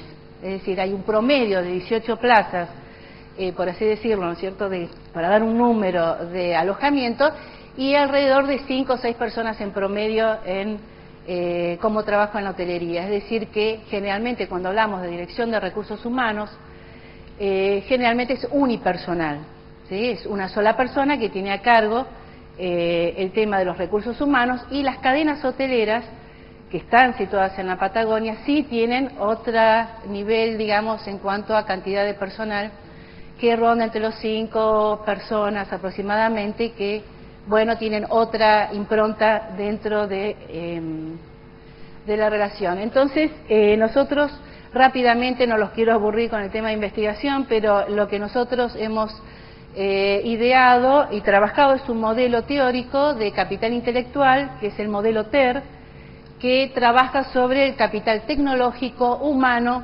estructural y relacional de negocio, que serían los cuatro capitales básicos dentro de la gestión del conocimiento. Y actualmente estamos validando el modelo, eh, tenemos aproximadamente unos 70 casos de entrevistas en profundidad con gerentes, dueños de hoteles, para poder validar, mejorar aún más los indicadores de medición para las características que no son propias de la hotelería. Eh, que no es fácil, eh, cuando uno dice mm, medición de capitales humanos, tecnológicos, el tema es, nos hemos aproximado a qué indicadores se pueden medir, el tema es la discusión, estamos en cómo medirlos, ¿no? y que sea útil para el sector. Em, esta es la lógica del modelo que nosotros hemos creado. Mm, sencillamente les, les quiero comentar, tiene sus variables y tiene sus indicadores de medición. Lo que quiero traer aparejado es que nosotros, cuando trabajamos sobre un capital, no lo hacemos aisladamente. ¿sí? La idea es, si bien esta, eh, esta charla es específicamente sobre capital humano, quiero decirles que esto se debe medir en forma simultánea. ¿sí? Porque es como si fuera un tablero de comando. Uno, para poder trabajar y para poder tener mediciones de utilidad, ¿no es cierto?, y estratégicas, debiera ser evaluado en forma simultánea todos los capitales. Todo suma, ¿no? en las organizaciones. Si pasamos de la era industrial a la era del talento, ¿sí? de la sociedad eh, económica, del hombre económico al hombre del conocimiento, vemos que estamos trabajando con una serie de conceptos que la verdad nos, como que nos abruman. Es permanentemente nuevos conceptos, nuevas modas, pero que si ustedes se fijan, eh, yo he tratado de ponerlos en rojo, la tríada conceptual más importante que es la guiadora, digamos, de todo este bagaje de nuevos conceptos, ¿no? como, si, como si uno quisiera despejar todos esos conceptos de organizaciones que aprenden, empresas virtuales, infraestructura, eh, comunidades de aprendizaje, gestión de innovación, el learning organization. Entonces, despejando, vemos que la tríada conceptual que rige todo este sistema es la gestión del conocimiento, el capital intelectual y el aprendizaje organizacional. Por capital intelectual lo que entendemos es el conjunto estratégico de recursos y capacidades que tiene una organización y que, como habíamos visto en la filmina anterior, tiene que ver con lo tecnológico, con lo humano, con lo relacional de negocio hacia adentro y hacia afuera de la organización, este, y con lo estructural, es decir, con su propia organización. Cuando hablamos de gestión del conocimiento es la forma en que eh, se formaliza y se sistematiza ¿sí? todo este caudal de capitales dentro de la organización. Y lo que subyace y que le da sentido ¿sí? a la innovación, al conocimiento, es el aprendizaje organizacional. Cuando decimos capital humano, uno se pregunta, bueno, pero ¿qué es el capital humano? El capital humano son las personas, ¿sí? pero las personas, no solo las personas, el conjunto de habilidades, destrezas, talentos, eh, conocimiento tácito, explícito, individual, social y que sea estratégico ¿sí? y que no pertenece a la empresa, sino que pertenece a los individuos. La empresa lo que tiene que establecer son estrategias ¿sí? como para poder frenar el olvido organizacional, es decir, que con cada vez que entrenamos a alguien se nos va de empresa y volver a empezar con el conocimiento. Entonces tendremos que establecer determinadas estrategias. ¿Voy muy rápido? ¿No? como me dijeron 25 minutos. Bien, eh, desde la práctica empresarial, ¿qué es lo que hemos observado? Por ahí, si, eh, digamos, si hay hoteleros o tienen otros tipos de, de, datos, de información, nos podemos interactuar. Hay dificultad para identificar activos intangibles, ¿no? ¿Cuáles son los que aportan valor? Eh, hay dificultad de encontrarles una valoración correcta, a nosotros también se nos hace difícil, pero digamos, ¿cuál es lo más estratégico y útil posible? Eh, la, dificultad de distinguir entre conocimiento, datos e información, ¿sí? la idea es que justamente si implementamos estrategias de gestión de conocimiento, esa información se debe traducir en conocimiento, si no queda eh, como en un stand-by. Y la dificultad hemos encontrado de no contar generalmente con el apoyo de la alta dirección o del dueño gerente, por así llamarlo, ¿sí? de estos, este, del sector hotelero. Bien, reconocimos tres grandes grupos de eh, gerentes respecto a, cómo abordan el tema de recursos humanos. No, es un, no está definido como clúster, pero si quieren llamarlo así, ¿no? como tres grandes grupos encontramos los grupos de gerentes descreídos, ¿sí? es decir, aquellos que tienen un doble discurso, ¿no? Es decir, por un lado, los escépticos, ¿no? Por un lado, este, hablan de lo importantísimo que es el recurso humano, pero por otro lado no establecen ningún tipo de estrategias ni políticas al respecto. Hay otro grupo de empresarios que se llaman los inquietos, denominamos nosotros los inquietos o los preocupados, que tienen totalmente la buena voluntad de hacer este, eh, prácticas de gestión de conocimiento y de identificar capitales, etcétera, pero quedamos ahí, ¿no? Y después están los ocupados, que son los casos más, mm, digamos, reducidos, que sí están aplicando alguna estrategia de gestión del conocimiento, pero también, en el caso específico de hotelería, no en forma simultánea, ¿se entiende? O tenemos el problema de que eh, ponen determinadas este, importancias y sobrevalúan el capital tecnológico por sobre el capital humano, pero no en forma simultánea. Bien, la pregunta que nos hacemos es cómo convertir el talento humano en inteligencia colectiva. Si nosotros trabajamos desde los recursos humanos, desde las gerencias, desde las organizaciones, tratar de convertir este talento en inteligencia colectiva hemos podido aprender algo en nuestras organizaciones. Y por lo tanto hablamos de deconstruir el management clásico. Si eso lo podemos producir, provocamos un movimiento interesante, pero no para destruir, sino para, por eso lo separé, deconstruir, ¿sí? trabajar sobre aquello que es bueno, que es este, útil, ¿no? y volver sobre eso como una reingeniería ¿no? del proceso.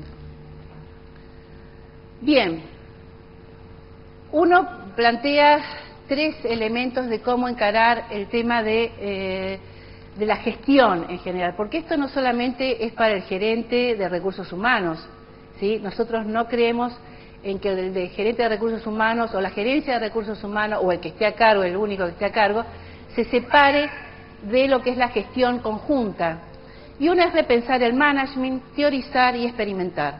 ¿sí? Cuando decimos repensar el management es considerar que la organización es un sistema vivo, ¿sí? Y que las, y las personas, nosotros, somos arte y parte de la producción del conocimiento y de la creación de la propia organización. Cuando, mm, no sé, ustedes en sus clases se les dice siempre de que el cliente es actor y productor simultáneo, ¿no? Muchas veces en la teoría hay que pensar esto en que el capital humano también es arte y productor simultáneo de la propia organización. Por otro lado, teorizar, ¿no? Teorizar en qué sentido, no como nosotros lo vemos teorizar desde el mundo académico, pero sí teorizar es pensar, por lo menos eso, digamos, de pensar, em, de debatir, ¿sí? Esto es un espacio de debate, de pensamiento, de reflexión, ¿sí? Sobre eh, cómo implementar estrategias adecuadas y que esas estrategias estén vinculadas objetivos, misión, visión, estructura, ¿sí? resultados, y experimentar y establecer prácticas dentro de la propia organización, aprender con las prácticas propias dentro de la organización y evitar comprar tantos modelos importados, es decir, eh, caja cerrada o a bulto cerrado, porque en definitiva nosotros tenemos una realidad y ustedes piensan en sus propias realidades, los modelos son genéricos, ¿sí? Eh, hay que adaptarlos, hay que ver las propias realidades regionales, las propias realidades locales, entonces muchas veces nos venden ¿sí? espejitos de colores con grandes modelos, temas de muchísima novedad y de, moda, que en definitiva, cuando uno va a trabajar sencillamente cara a cara con el empresario, esto no es así. ¿Se entiende? Bien. Eh, también hemos encontrado distintas generaciones de empresarios. Uno pudiera, digamos, en base a Arboníes, es una adaptación, eh, hay tres tipos de generaciones que trabajan, no la generación ni X ni Y, pero más o menos podríamos trabajarlas ahí, que se podría conectar perfectamente eh, eh, como trabajo de investigación, y es las organizaciones que están en el estadio de basada en procedimientos. ¿sí? que son organizaciones que utilizan la gestión del conocimiento como herramienta. Lo que quieren es procesar datos, digitalizarlos, almacenarlos, ¿sí? Pero hasta ahí.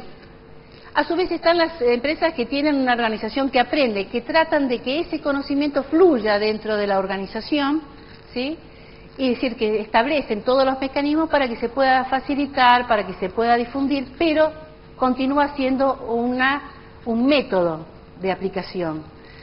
Las generaciones, las organizaciones basadas en el conocimiento ya tienen un salto cualitativo más importante, que generalmente están situadas en las categorías superiores y estas categorías conectadas con las cadenas, que es alinear a la estrategia, crear valor y que se convierta en estratégico. Ahora, de la cuarta generación, nosotras no tenemos, no sé si ustedes tienen algún ejemplo, de cuarta generación, que sería lo máximo para nosotros encontrar un tipo de organización de estas características, que es la coevolución, apenas si tiene el nombre de las anteriores, que ya es más compleja, ya se habla de comunidades de prácticas y donde el nivel de gestión de conocimiento es la organización. ¿Se entiende esto?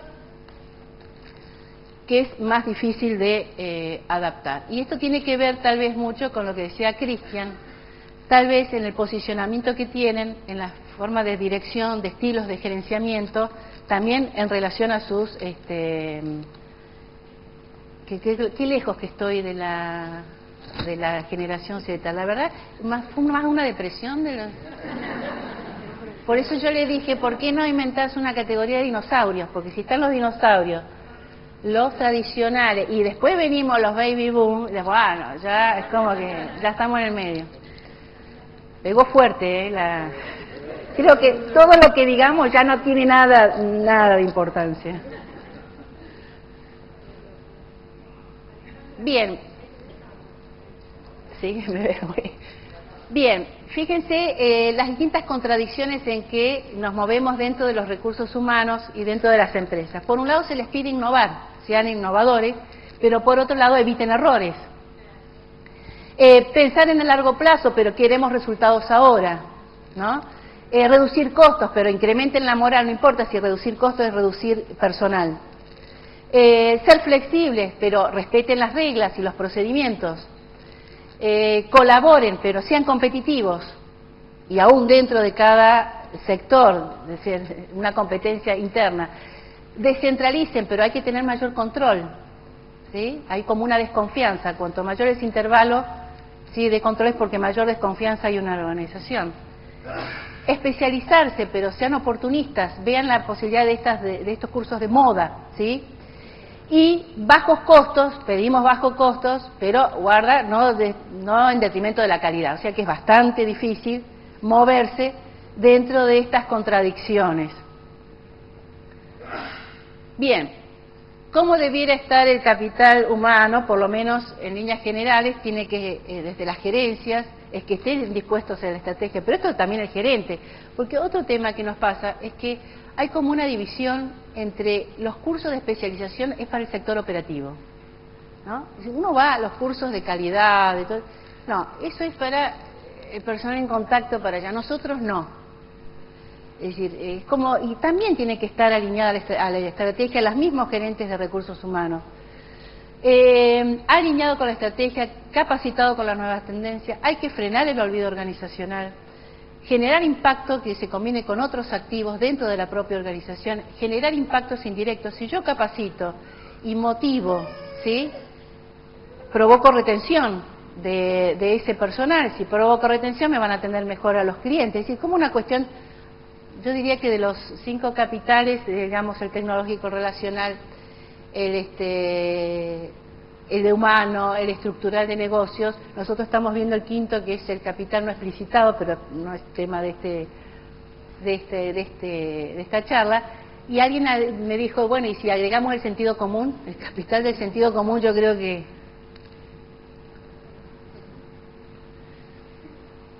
Bien, fíjense los empleos del futuro. Hay un, estudio que si después ustedes quieren les puedo dar los datos de Hostel Tour que planifica los puestos de trabajo en servicios turísticos en general, pero de hotelería en particular, ¿no? De acá al 2020. Entonces dice que en el corto plazo uno debiera tener avisos de este estilo, ¿no? Cambiar, se requiere recepcionista por se precisa recepcionista con dominio de ventas cruzadas y upgrades, de mejoramiento y fíjense la cantidad de nuevos puestos de trabajo que ya se están previendo para la hotelería de acá al 2020.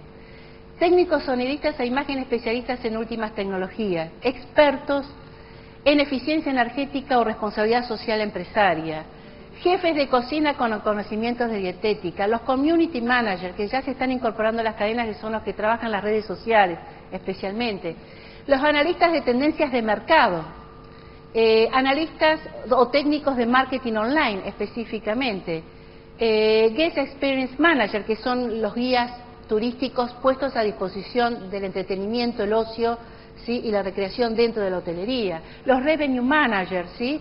para trabajar tarifas, etcétera. Es decir, la pregunta es, si estamos preparados también como dirigentes de recursos humanos, y planificadores de recursos humanos en estos nuevos puestos de trabajo que ya se están visualizando y de acá al 2020 para tener un, término de, tiempo. Nosotros también nos preguntamos si estamos preparados también de nuestros planes de estudio, ¿no? Para visualizar esta, esta capacitación. Y si los gerentes de recursos humanos están capacitados en estas tendencias, además. Bien, cuando se nos plantea que es caro, ¿sí? porque muchas veces eh, dentro de los estados financieros, obviamente pareciera ser que los recursos humanos es un gasto que castiga las utilidades empresariales. Eso es una realidad. Entonces, eh, tienen idea de la importancia del, del capital humano, pero no la valoración, qué valor aporta ese capital humano dentro de la organización. Entonces, sencillamente decimos, bueno, pero si creen que la capacitación y la formación de recursos humanos es cara y que muchas veces nos dicen, ¿y para qué si después se van? Porque la rotación de personal en servicio, ustedes saben que es alta, ¿sí? Y en hotelería eh, especialmente. Entonces que prueben con la ignorancia. Por ahí yo creo que no hay mucho este, análisis al respecto, ¿no?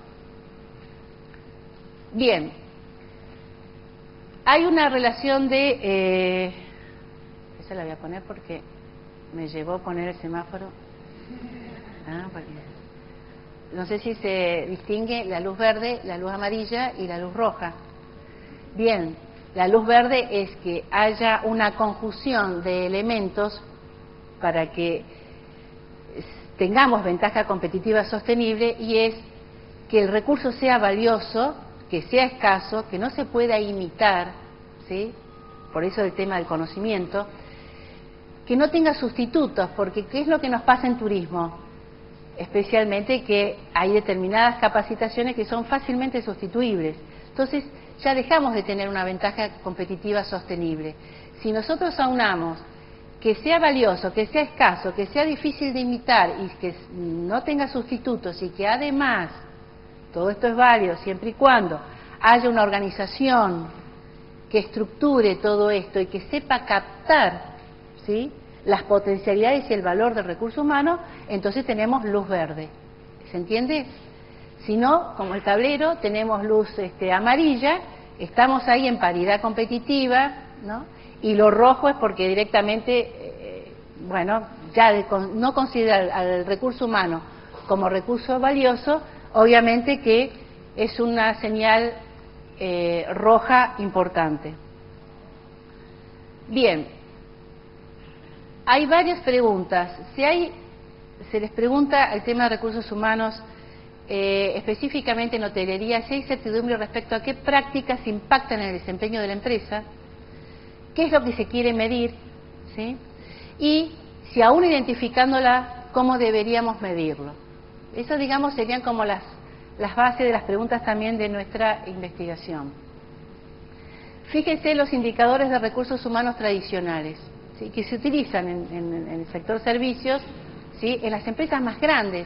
¿Ustedes se imaginan en una MIPYME que yo venga con estos indicadores? Número de empleados, rotación de empleados, tiempo de formación, empleados temporales sobre empleados permanentes, ¿no? Eh, costo anual de formación, costo por hora de capacitación, costo por persona de capacitación, ausentismo promedio, proporción de empleados con títulos universitarios.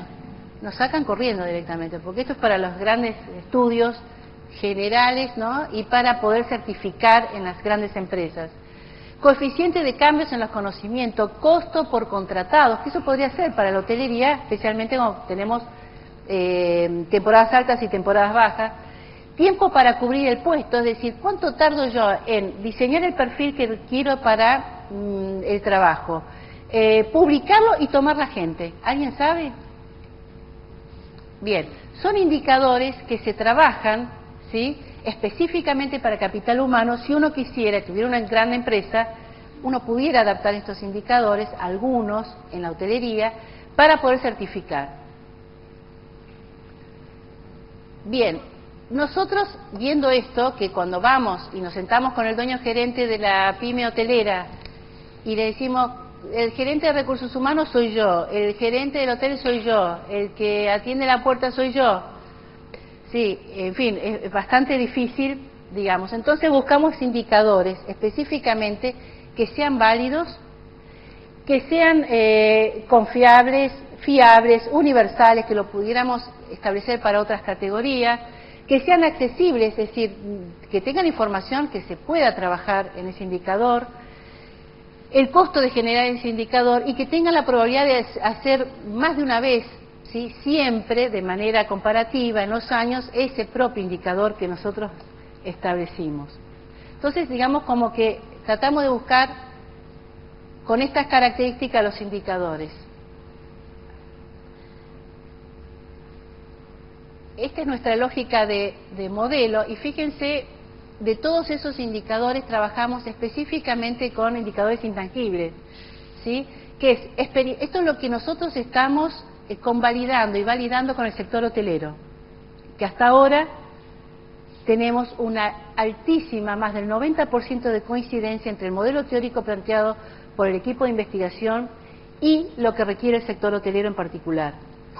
Y es experiencia del personal, las actitudes, el sentimiento de pertenencia, Las capacidades, ahí tienen algunos indicadores, qué capacidad, no les voy a dar todos los indicadores, pero qué capacidad de aprendizaje, cómo es el trabajo en equipo, eh, qué capacidad de comunicación y de liderazgo tienen, comportamiento de las personas, cómo se comparten, cómo se relacionan con los otros dentro y fuera de la organización, con, con la relación con la comunidad que los... Nosotros hemos trabajado en San Martín de los Andes, en Villa Langostura, que son comunidades de 20, 30 mil personas, a Puerto Madryn, Calafate, Bariloche, eh, Merlo, próximamente vamos a terminar, este, Neuquén y todo el Alto Valle, es decir, que tenemos distintos eh, rangos. Entonces nos dijimos, bueno, pero si le ponemos un número es bastante difícil. ¿Qué es lo que nos interesa a nosotros con el hotelero? Si se aplica, ¿sí? Si, cómo se aplica y si lo controla al indicador. Ese sería el indicador nuestro. Es decir, ¿Hace trabajo en equipo? ¿Sí? ¿Existe una cultura y práctica de trabajo en equipo? No, te dicen. Bueno, entonces para nosotros eso es un pasivo intangible. En el balance, el, hotelero sabrá cuál es su activo y cuál es su pasivo. ¿sí? Y además, si lo aplica, ¿cómo? Con reuniones periódicas, ¿sí? ¿De qué manera lo está haciendo? Y si lo controla, si hay control al respecto. Con esos indicadores nos estamos eh, manejando. Es bien adaptado a nuestras propias realidades. Y ya la anteúltima, porque ya los voy a dejar, este cuadrito este, mm, es sencillo, pero que es bastante, digamos, em, referente en cuanto a lo que estábamos hablando. Fíjense que hay elementos de planeación, liderazgo, capacitación, resultados y acción. Lo que ustedes ven en celeste, el rectángulo que está lleno de color celeste, es lo que no hay. Si yo, cualquier práctica de recursos humanos que quiera o de organización establecer, si no tengo planeamiento, lo único que provoca en la organización es confusión, ¿se entiende? Si yo no tengo liderazgo, los cambios son muy lentos. ¿sí? Si yo no tengo capacitación, lo único que provoca es ansiedad en la gente. Si yo no ofrezco resultados, lo único que voy a poder tener es frustración. Y si no acciono, me quedo en sueños. Entonces, la idea es que uno pudiera, en recursos humanos y a nivel de organización, combinar planeamiento, liderazgo, capacitación, resultados y acción.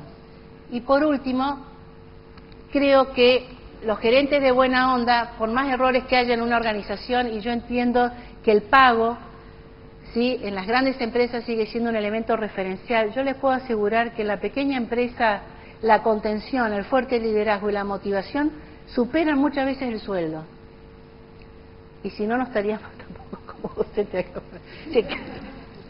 Además, o sea que hay, tiene que haber una motivación y una contención fuerte. Creo que eso también suple muchas de las cosas que este, eh, porque si es por sueldo y pagos, la verdad, yo escuchaba los niveles de sueldo y la, es como que no, no, no, no es referente para nosotros, por lo menos en la región este, patagónica, ni mucho menos. Entonces, creo que estos gerentes de buena onda son los que le aplican y sentido común, pero así, este, muchas posibilidades más de lo que uno cree, ¿no? Bueno, esa es toda mi,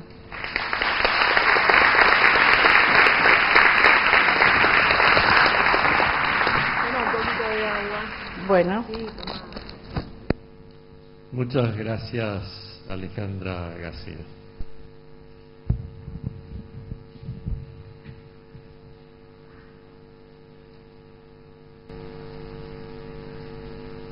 Bien, para continuar con este foro,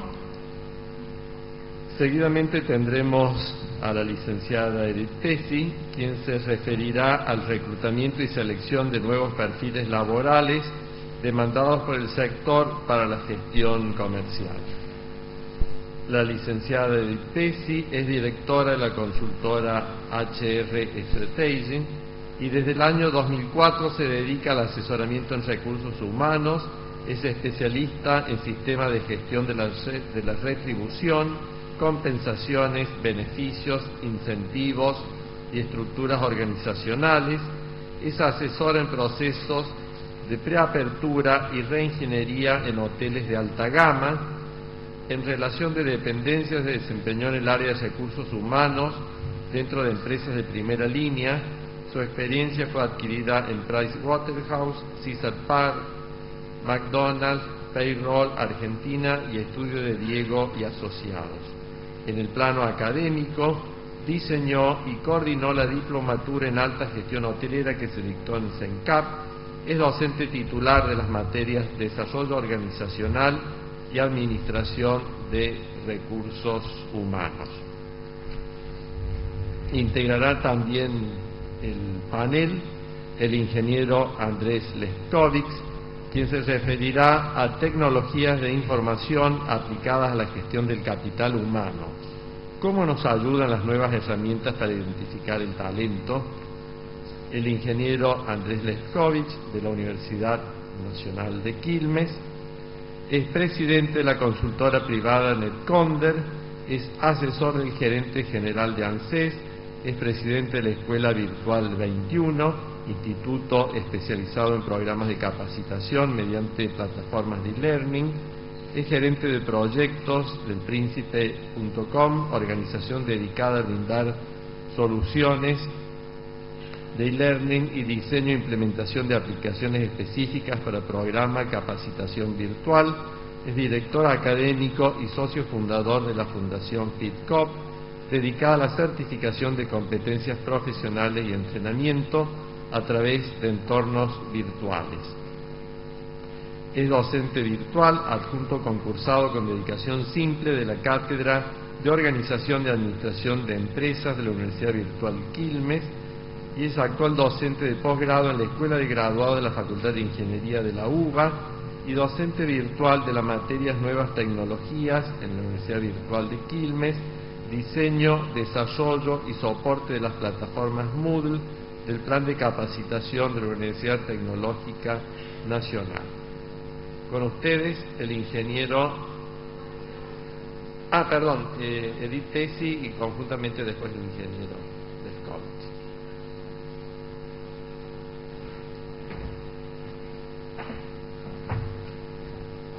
eh, hola, una aclaración. El, el, espacio para preguntas se va a abrir hacia el final del foro, una vez que cada uno de los expositores haya, haya dado su, su conferencia, su exposición. Gracias.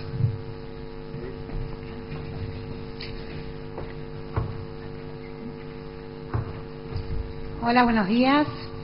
Eh, bueno, el, el, objeto de esta parte de la conferencia es contarles un poco cómo ha sido la evolución de los perfiles comerciales en la industria de la hospitalidad, adaptado en parte a cómo ha ido cambiando el perfil del huésped o del cliente, cómo ha ido cambiando el mercado hotelero en nuestro país y también el tema generacional que, como habló Cristian, al cambiar también el mercado laboral que hay, demanda que las empresas adapten sus perfiles de trabajo en base a lo que hay en el mercado laboral. ¿sí? Brevemente lo que voy a hacer es una introducción para los más jóvenes de cómo es el desarrollo que ha tenido la industria ah, de la hospitalidad en los últimos años, o sea, qué pasaba acá a principios de los 90, qué pasó durante fines de los 90 y principios del 2000 y cuál es el mercado actual en lo que es la industria de la hospitalidad, tanto a nivel de Buenos Aires como en el resto del país.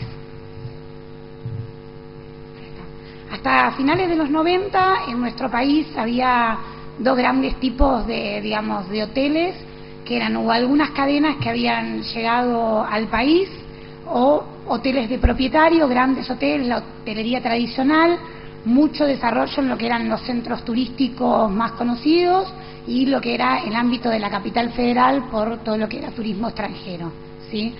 Eh, hasta finales, hasta principios de los 90, digamos, las cadenas más antiguas que tenían eh, y que tienen historia en lo que es el ámbito de la capital federal eran Sheraton, el CISA, el Hotel Intercontinental, había pocas cadenas internacionales radicadas en, en nuestro país y digamos mucho menos radicadas en lo que era el interior del país. El interior estaba más relacionado con alguna hotelería más tradicional, de familia, de gente que venía hacía muchos años, digamos, en la industria de hospitalidad, pero emprendedores.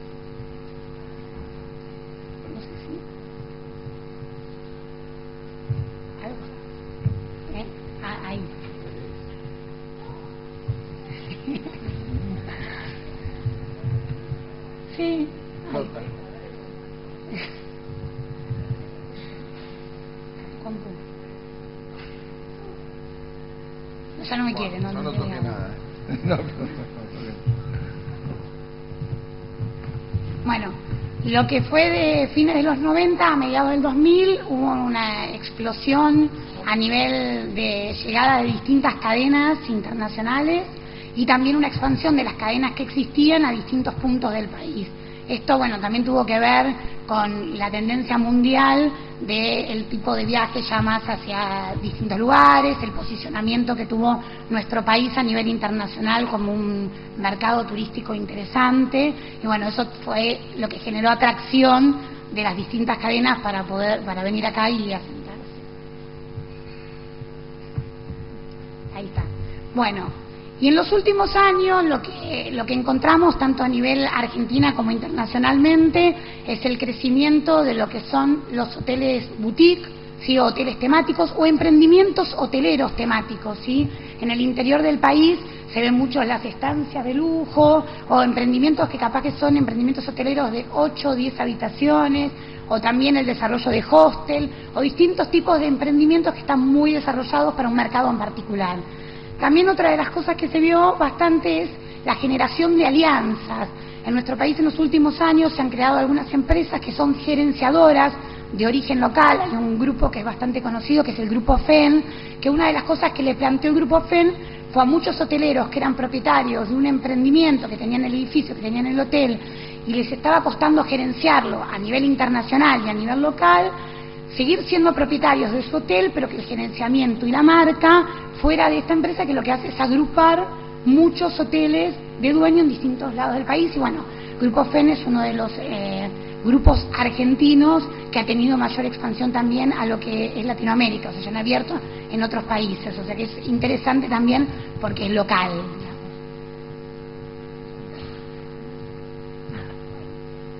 Ahí me fui. Bueno, eh, ahora vamos a ir bien específicamente a lo que tiene que ver con el sector de los ejecutivos de cuenta o los comerciales en lo que es la industria de la hotelería. Cuando nosotros hablamos de lo que era la industria de la hotelería tradicional, básicamente había dos o tres mercados, que era el mercado de tour and travel, que podía ser lo que era tour and travel de lujo, o lo que era, digamos, el, el más popular, más común, el mercado corporativo, que estaba orientado bien específicamente a llegar a las empresas y alojar a, a los gerentes o, ejecutivos de las distintas empresas y el mercado de los eventos. ¿sí? Entonces, básicamente, cuando uno iba a los hoteles se encontraba uno, dos o tres ejecutivos de cuenta con perfiles bastante diferenciados. La persona que se encargaba de lo que era el mercado corporativo era alguien que tenía mucha más llegada a las secretarias, quienes han trabajado en hoteles o conocen medianamente cómo, cómo se maneja el tema de la venta al mercado corporativo, saben que lo más interesante era el club de secretarias, el llamar a la secretaria constantemente, el tener contacto con quien hacía la reserva, el poder generar una buena imagen para la empresa. El mercado de Tour and Travel básicamente en ese momento estaba bien específicamente orientado a la relación que tenían los comerciales con las agencias de turismo o de viaje. O sea, no había, digamos, lo que ahora vamos a ver, que es la venta directa, ¿sí? Hace poco escuché una, una charla muy interesante de alguien que hablaba sobre revenue y contaba cómo había cambiado esto. Y la verdad es que cuando uno sabe, hace 15 años atrás, y que no es tanto tiempo, digamos una generación atrás, eh, cuando una persona quería comprar un hotel, se acercaba a su agencia de turismo local, que estaba en Alemania, esa agencia de turismo, un alemán que quería venir a, Buenos, a Argentina porque había escuchado que era un destino exótico, se acercaba a su agencia de turismo, a la persona que era de confianza, esa agente de turismo se contactaba con el mayorista que en Alemania manejaba el destino Latinoamérica o el destino Argentina, enviaba un fax haciendo de reserva, ese mayorista enviaba digamos, otro fax o una comunicación telefónica de una empresa mayorista también de acá comercializada, y esa mayorista pedía cotización en dos o tres hoteles con los que trabajaba, y todo eso se devolvía al cliente que estaba allá en Alemania. Digamos, todos esos eran los pasos que tenía la comercialización de los hoteles hace unos años atrás. ¿sí? Entonces, las claves o cuáles eran las características que tenían que tener los ejecutivos de cuenta o los comerciales de los hoteles, yo digo siempre ejecutivos de cuenta y comerciales porque en hotelería la palabra vendedor no gusta mucho, ¿sí? Si bien eh, tenemos siempre generalmente hay como una especie de mezcla entre lo que es un comercial y un vendedor o un ejecutivo de cuentas. El ejecutivo de cuentas está más orientado a mantener el cliente a largo plazo, a generar una relación con él. En cambio, la venta o el vendedor clásico está más orientado a la persona que ofrece un producto quizás más a corto plazo, ¿sí? Eh, entonces, en ese momento lo que se pedía para las personas que, ocupaban estas posiciones era conocimiento del mercado, tener una cartera propia, era súper valorado el hecho de ver en, un aviso que tenga su propia cartera, los ejecutivos de cuentas se pasaban de un hotel a otro y los hoteles se robaban los ejecutivos de cuenta en base a quién era conocido en el mercado, eh, digamos, justamente por esto, ¿no? por tener su propia cartera. Y hay algo que, que digamos, que es bastante bastante interesante y es que si bien hoy no, no es que cambió el hecho este de la propia cartera, o sea, o, que, o que digamos para un ejecutivo de cuentas no sea valioso sus contactos, los contactos ya están relacionados con otro tipo de cosas que ahora vamos a ver en el mercado actual. ¿Vamos bien hasta acá? ¿Sí? Soy yo la que tiene problemas con la tecnología. Ahí está. Bueno, eh, actualmente el mercado que tenemos, o sea, hoy habíamos dicho que estaba segmentado como en tres grandes partes, hoy el mercado es el mundo, todo, ¿sí? Porque hoy una persona que está en algún lugar recóndito de un país que quizás ni siquiera conocemos el nombre, googlea porque alguien le comentó que en Argentina se come buena carne y decide venir a buscar un hotel que está en Argentina. Entonces, prácticamente hoy es difícil conocer cuál es todo nuestro mercado, ¿sí? Entonces ahora, digamos, y también en la diversidad de mercado que tenemos, pero la diversidad de productos que hay que vender, una de las cosas que es clave es la capacidad de poder transmitir experiencias. ¿Por qué? Porque cuando uno le vende a una persona de, digamos, de las distintas generaciones, pero que hoy compramos muchas experiencias, algo a tan larga distancia y carecemos de lo que teníamos hace un tiempo, que era este ejecutivo de cuentas o esta agencia de viajes, que era mi confianza, lo que yo tengo que transmitirle, lo que va a venir a disfrutar, lo que va a venir a conocer acá, qué es lo que va a, saborear, cuáles son las cosas que va a poder vivir. Entonces esas son una de las capacidades más importantes que tiene que tener hoy una persona que se dedica a la comercialización, que es la capacidad de poderle transmitir al otro la, experiencia que va a vivir. ¿sí? El tema de la identificación con el producto. Yo acá particularmente puse eh, una imagen que a mí no me identifica para nada, pero que es una imagen que identifica justamente el hecho de la importancia que tiene que ver lo que es un hotel temático identificado con el producto. Si esta es una imagen del Hotel Boca, entonces, digo, yo uno lo piensa y dice, para trabajar en el Hotel Boca hay que ser de Boca, ¿sí? Eh, para trabajar en el Hotel Axel, no sé si, si digamos lo conocen de nombre, es un hotel, es el primer hotel temático de San Telmo dedicado al mercado gay, ¿sí? Obviamente lo que se pidió cuando se hizo la apertura fue que la gente que trabajara, digamos, en el Hotel Axel fuera gay, ¿sí? Eh, y digo, no necesariamente todas las personas que trabajan en el Axel son gays pero claramente para poder identificarse con el huésped, para poderle transmitir la experiencia, si uno está más cercano a la experiencia tiene más posibilidades, ¿sí? Bueno, y la y mm, digamos la otra característica es el dominio de las herramientas web, que es algo bueno que también estuvimos viendo con digamos con las distintas charlas que hemos visto previamente, ¿sí? Algo que yo quería comentar es que cuando vimos la presentación de Florencia, una de las cosas que comentaba ella era que tenía, era muy importante la motivación, eh, daba en 77% dos características bastante particulares de lo que motivaba a la gente a trabajar en las empresas. Una de ellas era sus compañeros de trabajo, que tiene que ver con el tema de los valores, o sea, hoy la gente decide reunirse y trabajar con gente con la que comparta ciertos valores, y la otra los clientes. O sea, miren qué importante que es para nosotros, los que trabajamos con la hotelería, pensar que nos motiva encontrarnos con un cliente que tenga características similares a las nuestras. Digo características similares no necesariamente del mismo país o del mismo nivel cultural o hasta el mismo nivel socioeconómico, pero que le gusten las mismas cosas que a nosotros, ¿sí?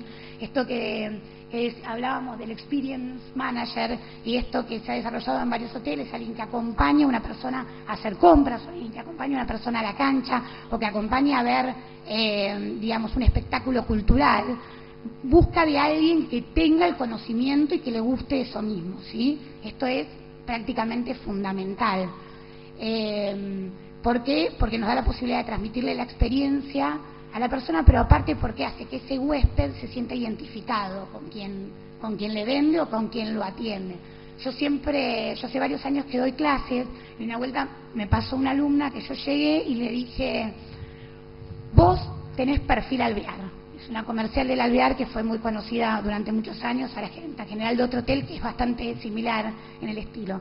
Y la verdad que uno la veía, a, digamos, a esta persona y el estilo, la cara, la impronta que tenía era la misma que uno veía en un huésped del Alvear. ¿sí? De hecho, ya había bailado ballet, le gustaba ir al Colón, tenía ciertas características que comparte con el cliente que va al Alvear no sé quiénes tienen la oportunidad de conocer faena, pero uno va y ve los empleados que trabajan en faena y uno ve que hay una, digamos, una cierta convivencia entre el ambiente, el cliente y el empleado, ¿sí? Entonces es importante cuando buscan los, digamos, los que están buscando trabajo por un lado y los que buscan empleados por el otro, es saber si esa persona tiene una identificación con el mercado con el que se va a encontrar y si se siente a gusto con ese mercado. ¿sí?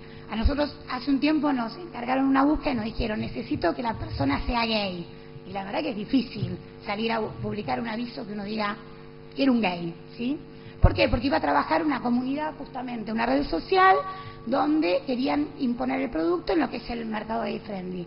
Y hay formas en que uno tiene de poder saber si esta persona tiene ciertas características que puede ser gay o no, pero que se puede llevar bien con el mercado, que conoce el mercado gay friendly, que puede ser un referente en una red social para la gente del mercado gay friendly que viene a nuestro país. Que saben ustedes que, digamos, lo eligen bastante, que les gusta bastante Buenos Aires y que, por, bueno, por, por varios estudios que hay, tienen un nivel adquisitivo que al no tener, no me acuerdo cómo es la sigla, pero son casados sin hijos con buen nivel económico, con lo cual normalmente gastan eh, un dinero interesante, o sea que son atractivos como, mercado. Ahí está. Bueno, ahora lo que, lo que tenemos es que un ejecutivo de cuentas tiene una diversificación de los canales a los que se tiene que, que, orientar, entonces ya quizás eh, antes teníamos como dos grandes comerciales, ahora tenemos que tener un comercial que pueda hacer un montón de cosas, que que pueda conectarse con las agencias mayoristas y minoristas. Acá hay un tema muy importante y es que durante mucho tiempo, cuando vino el boom de la venta web, muchas agencias eh, se sintieron, digamos, de parte de, los hoteleros un poco desplazadas. ¿Por qué? Porque como vender por la web era más barato que pagarle la comisión a una agencia, empezaron a desplazar ese sistema. Y después, a la larga, uno se da cuenta que dentro de su comercialización tiene que tener un buen mix porque bueno, el, operador turístico sigue existiendo, nos provee un montón de otros servicios y el hecho de poder mantener esa relación con las agencias de turismo es interesante y nos permite poder posicionar nuestro producto en distintos lados y sobre todo porque están en la época de vacas flacas, ¿sí? Bueno, todo lo que sean agencias online, lo que se Expedia, Despegar, eh, cualquier tipo de agencia donde uno compra a través de la web, la propia web hoy con la, digamos la posibilidad de desarrollo, el tema de los buscadores y el posicionamiento que podemos tener a partir de alguna devolución que hagan nuestros huéspedes en alguna de las páginas de influencia, digamos, es un canal que manejar. Seguimos con el mercado corporativo y lo que son las centrales de reservas, quizás como esto les decía, ¿no? Grupos que de repente representan a varios hoteles y que se convierten en una forma de comercializar bajando ciertos costos y sin tener un comercial interno. O sea, me hicieron señas de todos lados. Bueno, esto requiere creatividad, multitasking, no sé si lo habrán escuchado hablar, pero hay una frase que dice necesitamos empleados polifuncionales, eso quiere decir que hagan de todo y que cobren poco, básicamente es eso. Digamos, la polifuncionalidad está específicamente relacionada con el hecho de que sepan hacer un poquito de todo y que puedan, digamos, llegar a los distintos mercados.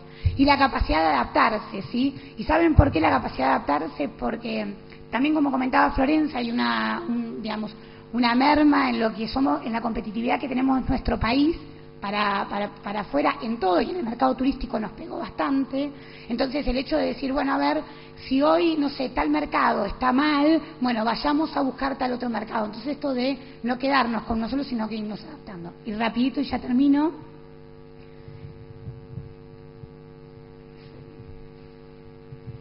No tuve suerte. Bueno, eh, lo que se busca es proactividad, compromiso, pasión, la orientación a los resultados, la resiliencia, que es la capacidad de adaptarse a los cambios, y algo más.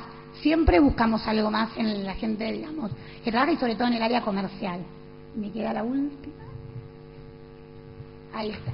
Bueno, y esto es, digamos, más que nada, como me comentaron que, la charla también está orientada a gente que está estudiando y que, y que de repente quizás va a desempeñarse en, en áreas comerciales. Crear una imagen propia, esto es súper importante, ¿sí? Eh, crearse una imagen propia interesante y atractiva. ¿Por qué? Porque hoy en día el hecho de tener una propia imagen está bastante aparejado al hecho de la famosa cartera, ¿sí? El tener una imagen en el mercado y ser respetada es interesante.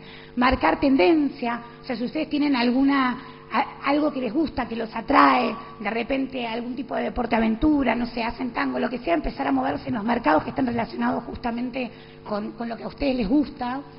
Eh, estar actualizados permanentemente en todo lo que tenga que ver con herramientas tecnológicas, los distintos canales, cómo se diversificó el mercado y el contexto, sobre todo político.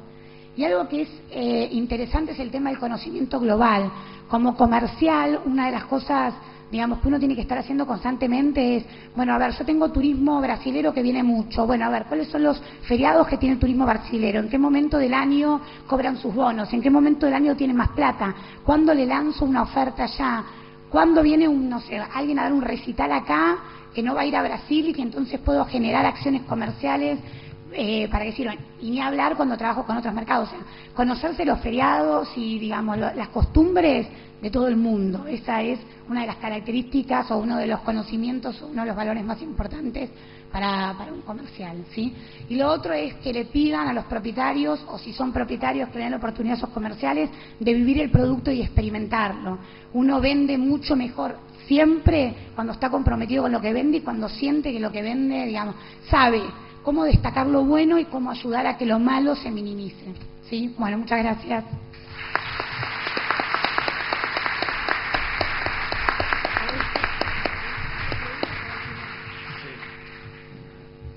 Bueno, eh, muchas gracias eh, Edith.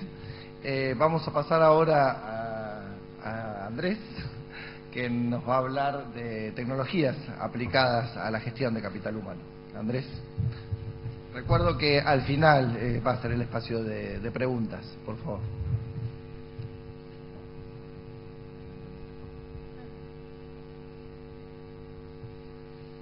Bueno, buenos días a todos antes que nada agradecer a la Universidad de Quilmes, agradecer en particular a Ariel Barrieto que me dio esta oportunidad, también a Cristian y por supuesto, bueno, eh, a los que están presentes en este momento. Eh, decirles también que en la presentación de mi currículum eh, no, no estoy haciendo todo eso junto, o sea, porque lo dejo en presente. En realidad son todas actividades donde yo transité. Bueno, eh, me toca un poco hablarles de eh, el aporte que hacen las nuevas tecnologías a lo que es el capital humano, es decir, a las personas, a las organizaciones que en definitiva las forman las personas. Y creo que tenemos mucho para decir, sobre todo en los tiempos que corren.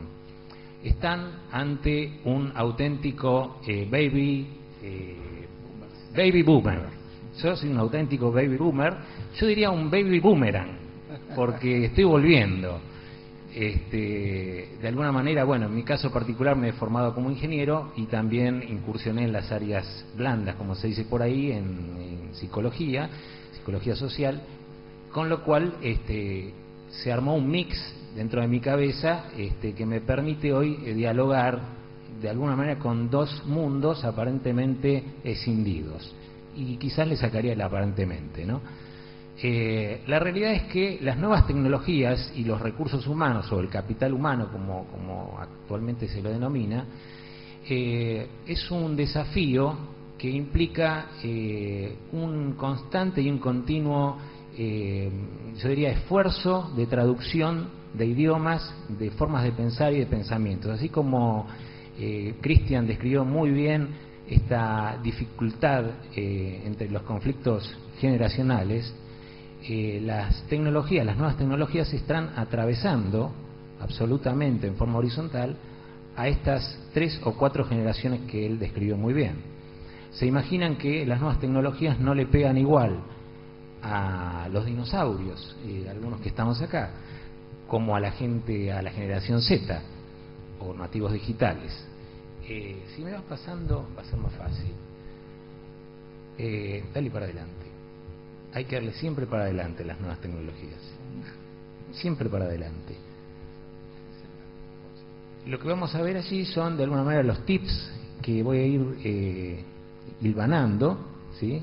palabritas claves, por ejemplo, competencias, evaluación 360, comunidades virtuales, entrevistas virtuales, videochats, videoconferencias, sincronía y portabilidad, gestión de e-learning y el apoyo, el aporte de las eh, universidades. Déjamela atrás porque va a ser este, mi, mi machete. Para atrás a veces también aquí para atrás en la tecnología. Competencias. Bueno, competencias es un término que se ha acuñado en el, mundo, sobre todo de los recursos humanos, eh, entendiéndose a, eh, digamos, lo que, lo que debe tener un empleado dentro de una organización para justamente ser competente, para que logre su objetivo y de lo que se espera de él, y también lo que él espera de sí mismo. ¿no? Eh, Vamos a profundizar un poquitito más, pero ahora, como les dije, les hago un pantallazo de lo que vamos a hablar. La evaluación 360 nos estamos refiriendo a una metodología que también es bastante conocida por quienes están en el área de recursos humanos, que se basa en, como, ya se, digamos, se intuye, una mirada sobre una persona desde distintos ángulos, es decir, desde todos los ángulos, desde el superior, desde sus pares y desde sus subordinados. Es decir, se lo evalúa en su puesto de trabajo y eh, esa evaluación habitualmente es confidencial y llega a quienes necesitan esa información para justamente evaluar su gestión. Las comunidades virtuales, que ya veremos también el impacto profundo, eh, como la película que, salió en su momento, está generando en nuestra sociedad en este momento, en el mundo, las entrevistas virtuales, que va a ser, me parece, un condimento que hoy le vamos a poner, como le ordenan una buena pizza. Los videochats, videoconferencias, que ya son eh, herramientas bien tecnológicas. Eh, tenemos como título de esta charla eh, herramientas o TICs, que TICs yo recuerdo en una charla de, una prominencia este, educativa y empezó la charla justamente así, ¿no? Pero tenía un tic de verdad la persona. Nosotros creemos que, iba a hablar de las nuevas tecnologías. Habló, pero con un tic. En este caso, TICs serían tecnologías de la información y la comunicación. Luego, este tema también que me parece importante, que es la sincronía y la portabilidad, hay una clara tendencia a que todo lo que estemos viendo hoy en cuanto a contenedores o llamémoslo eh, elementos que eh, nos permiten recibir información eh, desde una PC de escritorio hasta una notebook, una netbook, una tablet y un iPhone, ¿sí? los mercados están proyectando que todo lo que va a ser primero consumo de, este tipo de, electrónicos ganan pero por robo cuanto más chico más se va a vender ¿sí? Con lo cual, eh, este va a ser el soporte habitual, eh, o por lo menos que va a tener una gran parte del mercado en lo que tiene que ver a, formación y, capacitación permanente, eh, va a ser una plataforma de educación, aunque hoy nos parezca medio difícil que alguien pueda capacitarse por un iPhone, Hoy. después, bueno, vamos a pincelar un poquitito esto de qué es la gestión, qué aporta el e-learning y el e-training, eh, como que hay mucha palabra dando vuelta, pero vamos a tratar de ver si lo podemos este, traducir un poquito. Y finalmente sí cerrar con el aporte de las universidades. Ahora sí, vamos a lo que hablamos al principio de las competencias. eh, hay como una, suerte de glosario que a mí me parecía importante que, tengamos para partir de un mismo, este, mismo punto, digamos, eh, sí, un vocabulario común, ¿no? Eh, básicamente, cuando se habla de competencias, se habla de competencias duras y blandas, por decirlo así, o habilidades y conocimientos específicos. Algunos le dicen skills o términos americanos, pero lo importante es entender de que cuando se habla de competencias, habitualmente eh, se refieren a los conocimientos que tiene que tener una persona, por ejemplo, un ingeniero tiene que saber eh, de electrónica, de física, de química, de un montón de cosas, pero también eh, se espera de él que, bueno, si es un ingeniero en ventas, tenga habilidades comerciales, sea empático, simpático, este, con habilidad negociadora, es decir, tenga habilidades blandas también, ¿no? Todo eso configura lo que se llama una competencia. Vamos a la siguiente. Eh, dentro de este proceso, las organizaciones van tomando eh, cada vez más conciencia de que este modelo de competencias, que entiendo que no es moderno ya, pero que sigue, digamos, funcionando y bastante bien en algunos casos, eh, se da cuenta que se define un puesto, como decía mi colega previamente, porque los puestos se, se generan a medida que se generan necesidades en los mercados. Como los, los mercados son dinámicos, eh, se generan nuevas demandas de puestos inexistentes. Por lo tanto, se generan nuevos puestos con nuevos perfiles y hay que inventarlos. Al punto tal que a veces se inventan nombres para cosas que antes no existían. Yo les doy algo de mi cosecha. Cuando yo me recibo de ingeniero electrónico, no existía el e-learning. Eh, yo no sabía que esto era mi vocación. Realmente, por suerte, tuve la, fortuna de que eh, después de muchos años se desarrolla esta tecnología y bueno, y es lo que yo hago hoy. Pero en realidad ese puesto, o ese rol, o esa actividad no existía porque sencillamente no existía Internet. Vayan sacando eh, los cálculos de la edad que puedo tener. Eh, este proceso, como dice allí, no es sencillo ni rápido. ¿Por qué? Porque cuando uno define primero un puesto, ya bastante difícil es definir un puesto estándar, ¿no es cierto? Ustedes que están en el rubro clásico, digamos, de recursos humanos, definir un, puesto clásico para una organización específica eh, es difícil, porque yo puedo decir, sí, necesito un liquidador de sueldo. No, no, para, un liquidador de sueldos para quién? ¿Para qué empresa? ¿Para qué hotel? Como ella decía. Y no, pero este hotel está en el medio de la Patagonia. No, este es el Holiday, Holiday on Ice, iba a decir, el Holiday Inn. O sea, el puesto hay que definirlo para determinada organización específica, por lo tanto es único, como es única la persona que lo va a ocupar. ¿sí? Cuanto más complejo cuando ese puesto no existía. Entonces hay que eh, trabajar mucho sobre este tema.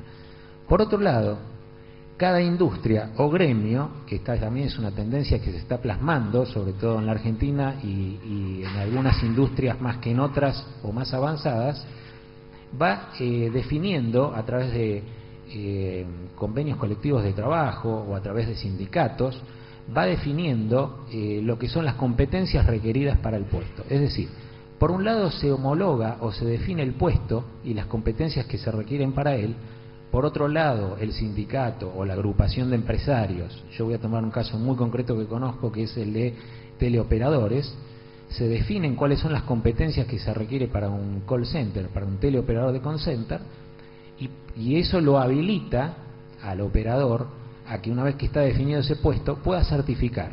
Es decir, si tiene las condiciones para ese puesto, puede certificar ante una entidad certificadora y de alguna manera esa persona tiene como una especie de título que avala el mercado diciendo esta persona es apta para trabajar en un call center, ¿sí? Entonces es un paso más. Hay como un encaje o un encastre entre la competencia de la persona y la competencia del puesto.